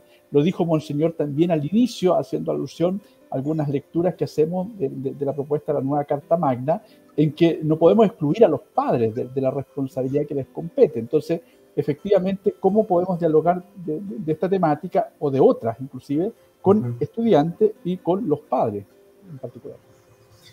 Entonces, parto primero. ¿eh? El problema de la, de la homosexualidad, de la diversidad de género, de la transexualidad, son problemas que al interno del colegio, según la experiencia que yo tengo, lo que yo he trabajado, es un problema que no afecta tanto a los chicos, sino que afecta a los adultos. Por lo tanto, el primer trabajo, el primer diálogo, la primera intervención es con los adultos. Eso significa profesores, equipo directivo y apoderados. Y personas que trabajan en el área docente. ¿Por qué eso? Porque los chicos están comenzando con un proceso de conocimiento de esta área de sexualidad. Y a veces acogen, comprenden y acompañan mucho mejor que los adultos. El problema somos nosotros, en la dimensión que a veces tenemos tanto prejuicio, tenemos tanto ideas mal concebidas, tenemos tantos pedazos de información que a la hora de presentarnos estos problemas que ya son en sí complejos, nosotros los complejizamos por falta de, formación. Por lo tanto, ¿cuál sería el primer paso? Y, ahí puede ser que coordinemos, porque esto lo hemos conversado dentro del equipo. El primer paso siempre va a ser la formación, siempre va a ser el diálogo. Es decir, junten a los apoderados cuando surgen estos problemas y conversen entre ellos acerca de qué es para ustedes la homosexualidad. Sería lo primero que hay que hacer, no junten a los niños, junten a los apoderados, junten a los profesores, porque entre los profesores pueden haber profesores que sean, que piensen A, B, C o D. Por lo tanto, es necesario que dentro de la labor educativa se piense más o menos lo mismo acerca de qué se va a hacer. Porque acuérdense que nosotros no estamos para formar eh, un tipo de persona según un modelo específico nosotros queremos formar personas con sus propios valores, con sus propias preguntas, con sus propios ideales. Y ese es un proceso que lo hacemos como comunidad. Por eso que la comunidad educativa es tan importante. Pero antes, primero los padres, apoderados, es decir, padres, apoderados, eh, profesores y personal educativo, después los niños. Y la otra pregunta era... Eh, en definitiva, ¿cómo dialogar, decía, con los alumnos? y, lo, y, lo, peligroso, o sea, en definitiva, uno de los profesores nos plantea si, eh, cómo poder dialogar con los padres en torno a la homosexualidad y que este no sea un problema que pueda incidir en decisiones que vaya tomando un adolescente. Ahí, ahí la proyecta la, la, pregunta. Yo lo estoy interpretando. es, que, es, que, en primer lugar, nuevamente, es la formación. Los padres tienen el deber y derecho a la educación sexual de su hijo. Eso es lo primero. Por lo tanto, un padre puede decidir A, B o C y eso hay que respetar en la educación de, un niño. Es lo primero.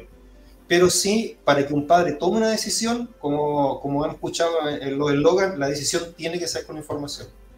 No puede ser sin información, porque si no sería una mala decisión. Entonces ahí el colegio tiene un elemento importante. Entonces cuando surjan estos elementos o antes que surja, es necesario que los procesos educativos de los colegios incluyan formación sexual también para padres, los profesores y las personas que trabajan en los colegios. Eso es fundamental, si no existe eso, partimos de cero. Gracias, eh, Pablo. Daniel, yo creo que ahí tú tienes harta, experiencia también que aportarnos y nos has acompañado en otros encuentros, en otros momentos que hemos ido construyendo algunas propuestas ahí. Así que por eso creo que tú puedes agregar también algunos elementos desde, tu propia experiencia y la experiencia de la Fundación. Sí, yo primero decir que eh, todo lo que dijo Pablo es así, o sea, eso es. Eh, así que ya tengo el 50% más de la respuesta declarada.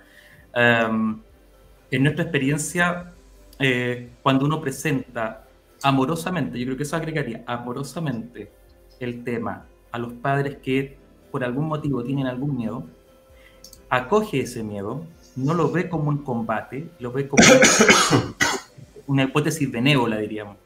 Eh, lo que descubre es que finalmente esos padres lo que creen es que puede haber un peligro para sus hijos en algo, que puede ser este tema, puede ser otro también. ¿ya?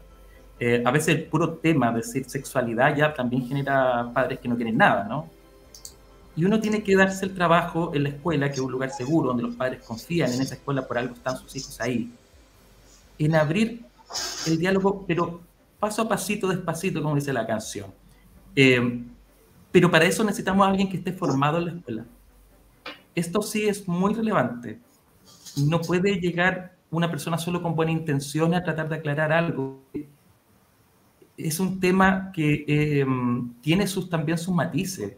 Hay, hay palabras y, respuestas que podrían cerrar la discusión y no dejar contento a nadie. Y hay otras preguntas que abren mejor las reflexiones. Por ejemplo, em, cuando un padre dice, yo no quiero que se hable esto porque a mi hijo le puede pasar algo malo, yo trato de ver, bueno, esa actitud que está tomando, ¿cultiva la convivencia en la escuela o va a generar alguna dificultad? y vamos trabajando entonces esa dificultad. Yo no quiero convencer al padre de nada, porque ahí tiene una actitud que, que, es, eh, digamos, libre, ¿no? No, no, no, no, no puedo meterme ahí.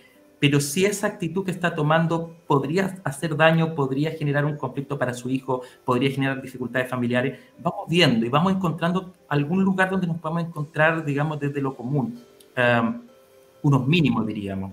Y la verdad es que se encuentran rápido por ejemplo, el padre dice, mira, es que yo en realidad no estoy de acuerdo, pero sí entiendo que eh, no me puedo meter en la vida personal de otro. Ya, ahí tenemos un escalón y vamos trabajando desde ese escalón con los valores que tiene la propia institución y vamos empujando un poco. Ahora, la verdad es que sí, y lo más probable es que el, el, gran desafío los padres lo van a tener con sus propios hijos porque hay mucha información y los jóvenes tienen otra actitud respecto a estos temas. Entonces van a haber enfrentamientos muy, muy fuertes con los padres. Y yo ahí eh, invitaría a los padres a tener esta oportunidad que quizás no tuvimos nosotros, de conversar este tema desde una mirada más moderna y con más antecedentes. Hoy día hay antecedentes, hay reflexiones, hay miradas que podemos compartir y que van en la línea de, de la inclusión, que van en la línea de comprendernos como una riqueza de esta diversidad. Pero eso hay que darle tiempo. Yo le he dicho a algunos colegios, lo hemos trabajado así, que a veces hay que hacerle cuatro talleres a los papás y uno para los jóvenes. Y, es así. Y funciona. La verdad es que de repente uno que otro no quiere nada, pero ya es un tema mayor, que ahí la escuela no puede hacer mucho más tampoco.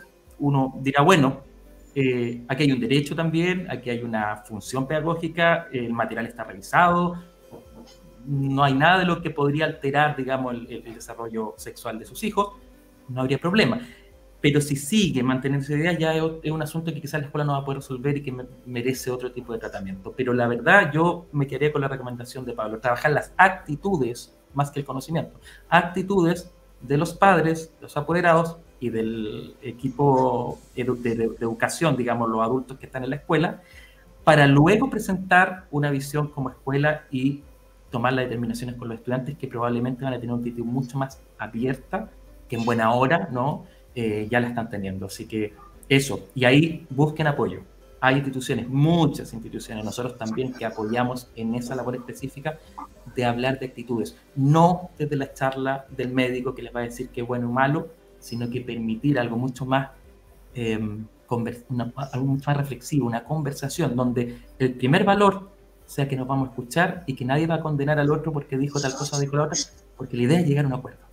Y eso yo creo que no solo hace falta en la educación sexual, Roberto, yo creo que hace falta a nivel nacional que tengamos actitud. Exacto. Además, tú, tú acabas de poner un tema, no lo vamos a abordar aquí, pero sin duda un desafío. Cuando le damos una responsabilidad a los docentes en la escuela, a los equipos, eh, tenemos que procurarles una formación. En las mallas curriculares de nuestras facultades de educación no existe la educación sexual dentro de la malla. Eh, varias cosas no existen, pero nos, nos, convoca este tema.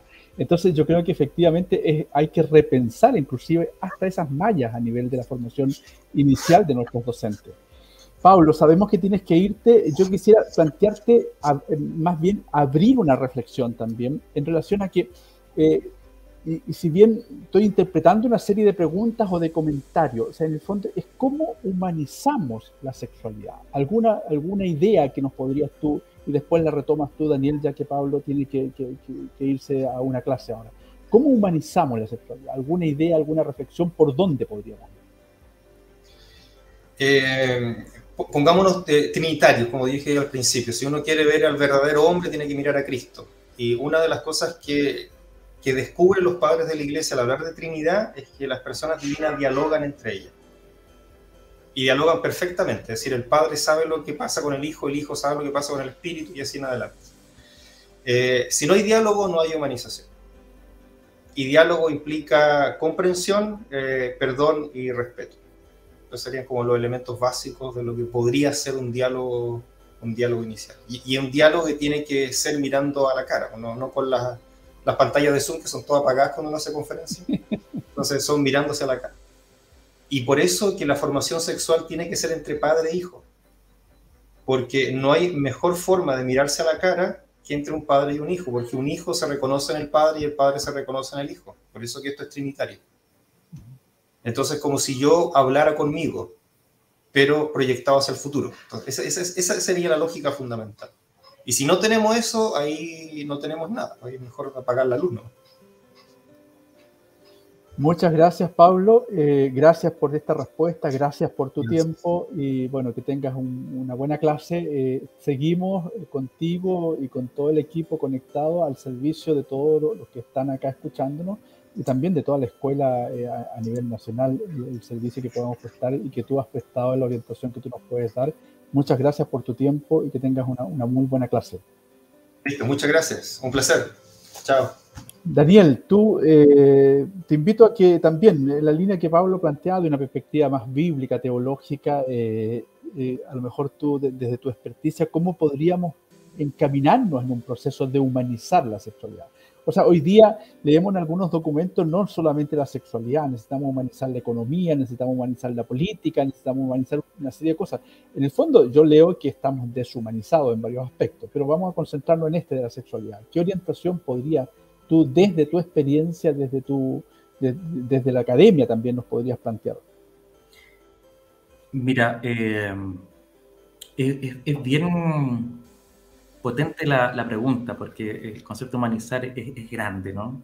Eh, ya nosotros hemos declarado, por lo menos desde la sexología, que hablamos de un hecho sexual humano y, es humano porque nos pasa a nosotros y tiene una connotación distinta a cualquier otro suceso. Eso, eso, es fuerte. Como dicen en España, eso es gordo, aunque parezca tan simple, ¿no? Ah, pero hay una, sumado a lo que dijo Pablo desde la antropología cristiana, hay una idea eh, que creo que nos podría servir mucho en lo, práctico para ir dándole esta connotación humana a, esto que nos pasa. Y es la clave identitaria, Roberto. Yo creo que eh, resignificar esta palabra sexo desde ya, darle el valor que tiene. Yo dije, ahí el sexo es un valor, entender eso. Voy, voy a hacer una frase incendiaria más potente. a la pregunta por el amor, la respuesta es el sexo. Cuando ya esa frase me empieza a hacer un poco de sentido, estoy encontrando ese, esa humanización ¿no? de, este, de, este, de este evento, de esta realidad que nos ocurre y que, y que es maravillosa. yo invito a la escuela, a cuando hablemos de sexo, a bajar la espada y agarrar la linterna, porque la invitación es a descubrir qué hay ahí en eso oscuro que antes pensábamos que era un monstruo, que nos podía hacer daño, que iba a entrar en la noche a la pieza y nos iba a llevar. Entonces no hablamos de él y cuando llegue cortémosle la cabeza. Ahora yo le invito a prender la luz. Como decía Pablo, nos quería solo apagar la luz. Bueno, yo invito a que, que la educación sexual sea una antorcha, una linterna, em, una lámpara, que ilumine aquello que no se ha visto, para que la realidad del concepto de sexualidad sea conocible, si no, no se puede humanizar, porque una vez que tú conoces las nociones, empieza a identificarse con, empieza a identificarte con ellas. Realmente las nociones lo que sirven es para explicarte aquello que tú eres. No tienen una vida las nociones por sí mismas. Tampoco explican todo y no tienen por qué hacerlo.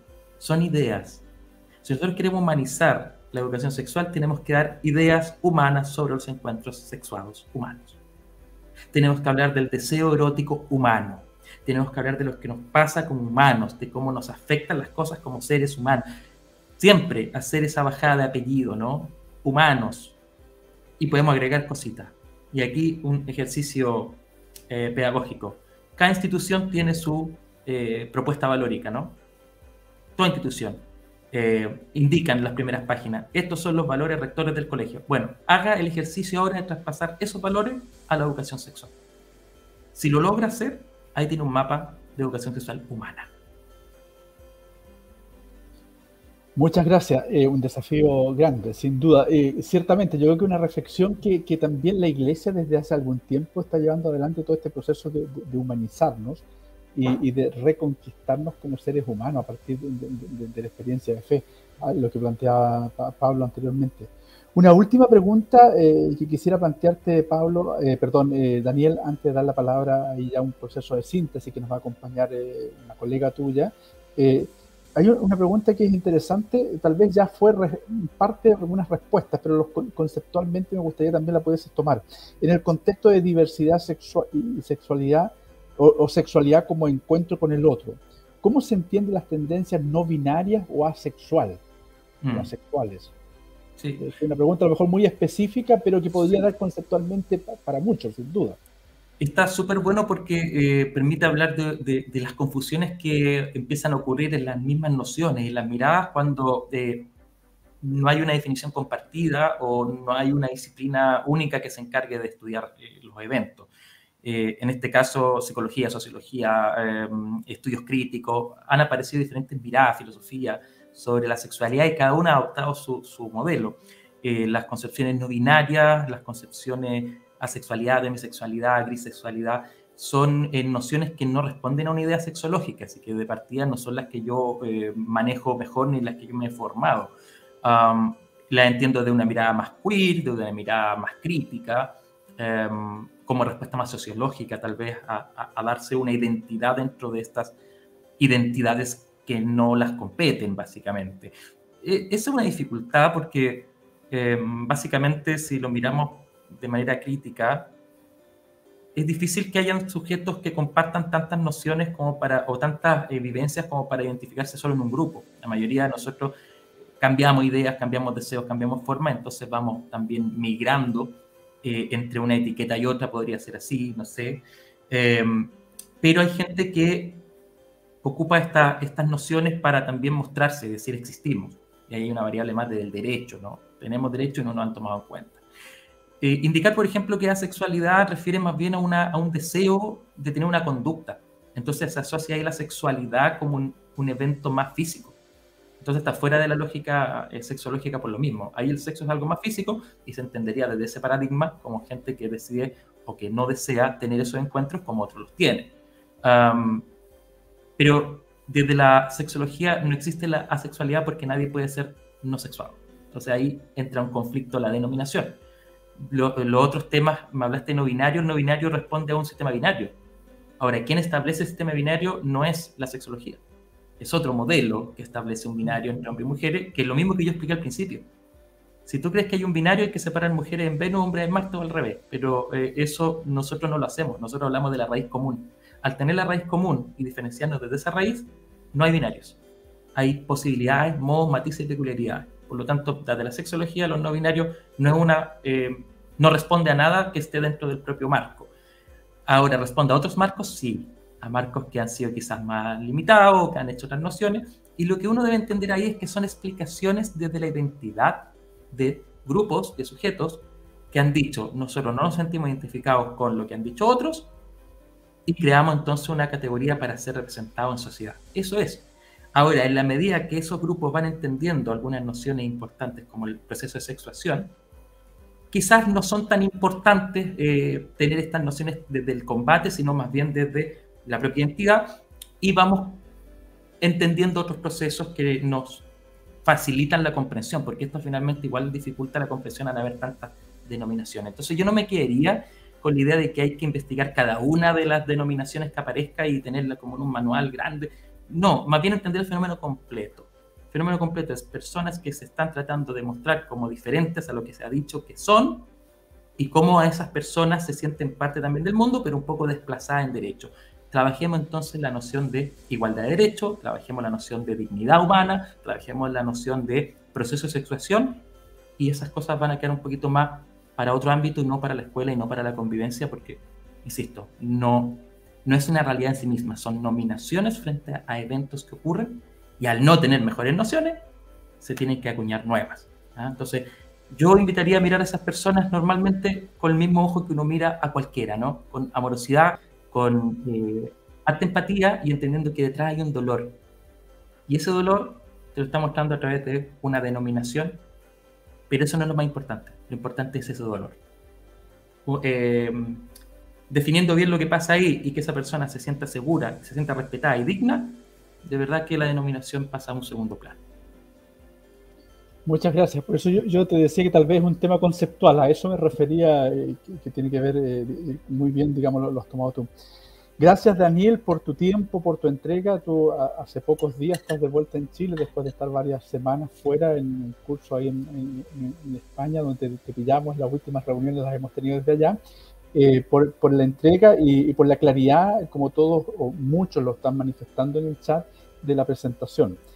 Queremos darle el paso eh, a Daniela González, ella es psicóloga y es la encargada del Departamento de, Colegios del Centro de Educación Sexual Integral, la Fundación CESI, quien nos va a acompañar y nos va a plantear una suerte de síntesis acerca de los desafíos que se desprenden de estas presentaciones y de este diálogo y, del no diálogo, porque tú también has podido leer las preguntas, los comentarios eh, que se dan en el chat. Así que muy bienvenida Daniela y eh, te damos ahí el tiempo para que nos, nos ayudes a hacer esa síntesis. Gracias, muchas gracias. Bueno, es un difícil desafío poder hacer una síntesis después de eh, tremendas exposiciones donde se han abordado temas eh, súper complejos, diversos, pero que es necesario poder conversarlos y poder ponerlos sobre la mesa, ¿ya? Em, dentro de eso, bueno, yo creo que es importante quizá, eh, bueno, hubo gente que se conectó de muchos lados, eh, gente también que se conectó desde Perú, eh, hubo muchas preguntas en el chat, pero también muchos comentarios que dieron paso a, la reflexión, a poder poner temas que están ocurriendo dentro de, de los colegios. Y en ese sentido me gustaría destacar de, lo que se conversó hoy día, para quienes quizás después se fueron conectando, eh, un poco lo planteado en las premisas fundamentales por Paulo, ¿ya?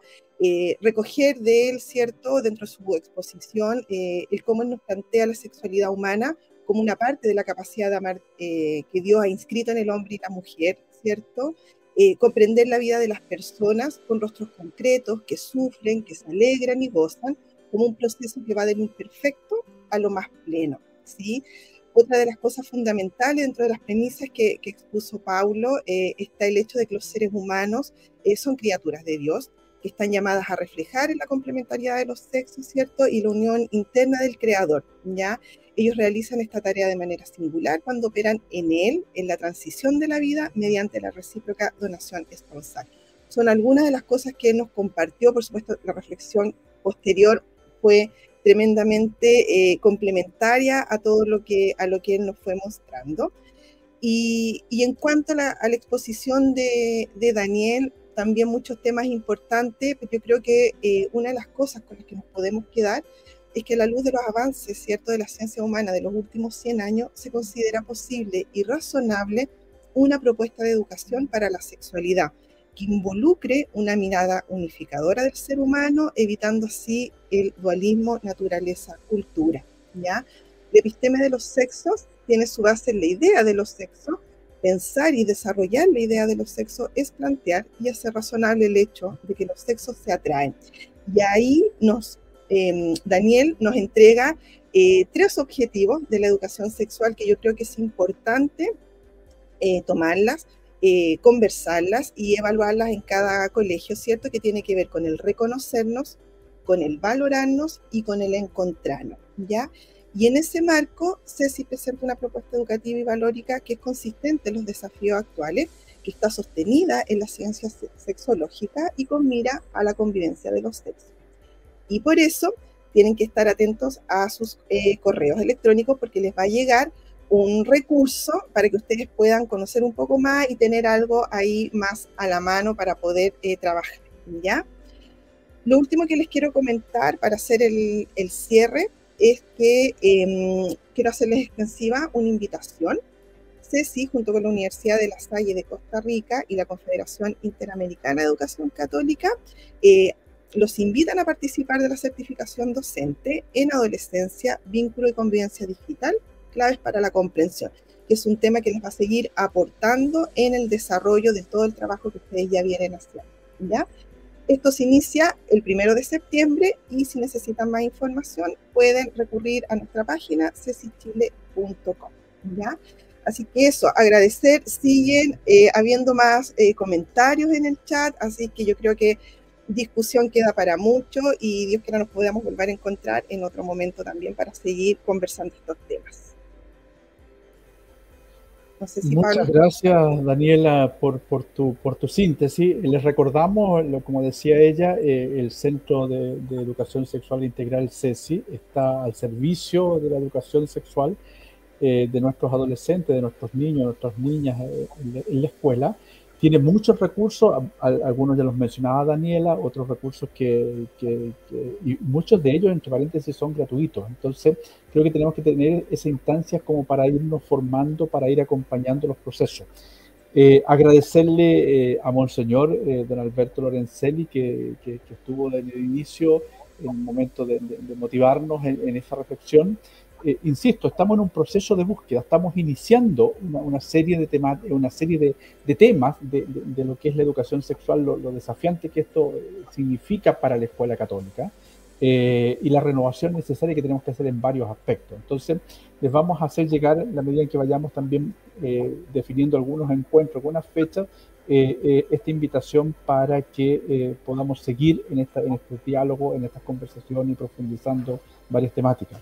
Agradecemos a Daniel eh, y a, Daniela del Centro de Educación Sexual Integral, a Pablo, que, se dio el tiempo entre la academia y de, poder acompañarnos un poco corriendo y tuvo que volver a sus clases, y a todos ustedes que se han conectado. Nos ha llamado mucho la atención que varios eh, compañeros nuestros, colegas de trabajo, se han conectado en Perú y algunos cuantos también en Ecuador, me, estaban escribiendo internamente ahí, eh, como también de, todo el país que, que han podido los que se han podido conectar, porque un horario laboral, para muchos están en aula y eso a lo mejor complica, pero también sabemos que posteriormente este, esta presentación va a quedar alojada en YouTube y ustedes pueden volver a, pueden bajarla, pueden retomarla, eh, tanto la presentación como también los comentarios.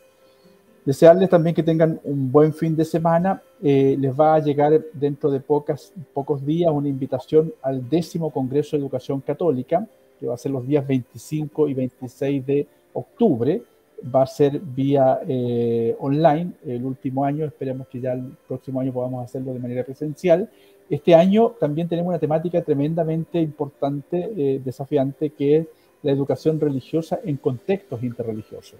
Estamos trabajando con un equipo interreligioso, no solo ecuménico, sino que interreligioso, para justamente ver las temáticas y los nudos críticos que tiene educar en esta dimensión interreligiosa eh, a nuestros alumnos, a nuestros estudiantes. Se los haremos llegar oportunamente y eh, cualquier eh, necesidad que tengan, si los podemos acompañar desde el área, recuerden el correo nuestro es educación arroba Que tengan una muy buena tarde y nuestros agradecimientos también enormes a Santillana que ha hecho posible esta transmisión en la persona de Gustavo y, también en la persona de Harold que está en, eh, facilitando y posibilitando esta transmisión. Muchas gracias.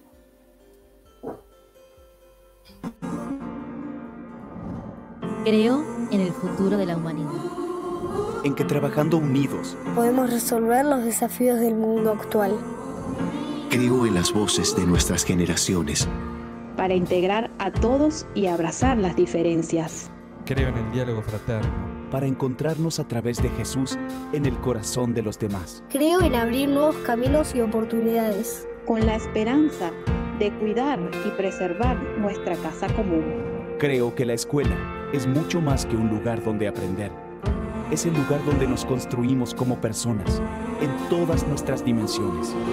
Donde nos formamos de manera integral y para siempre con valores. Creo en una escuela donde crecemos al servicio de nuestra comunidad. Porque allí surgen los protagonistas de la creación de un mundo mejor. El mundo con el que todos soñamos. Todos queremos y todos creamos. Creo el Sistema Educativo Católico de Santillana.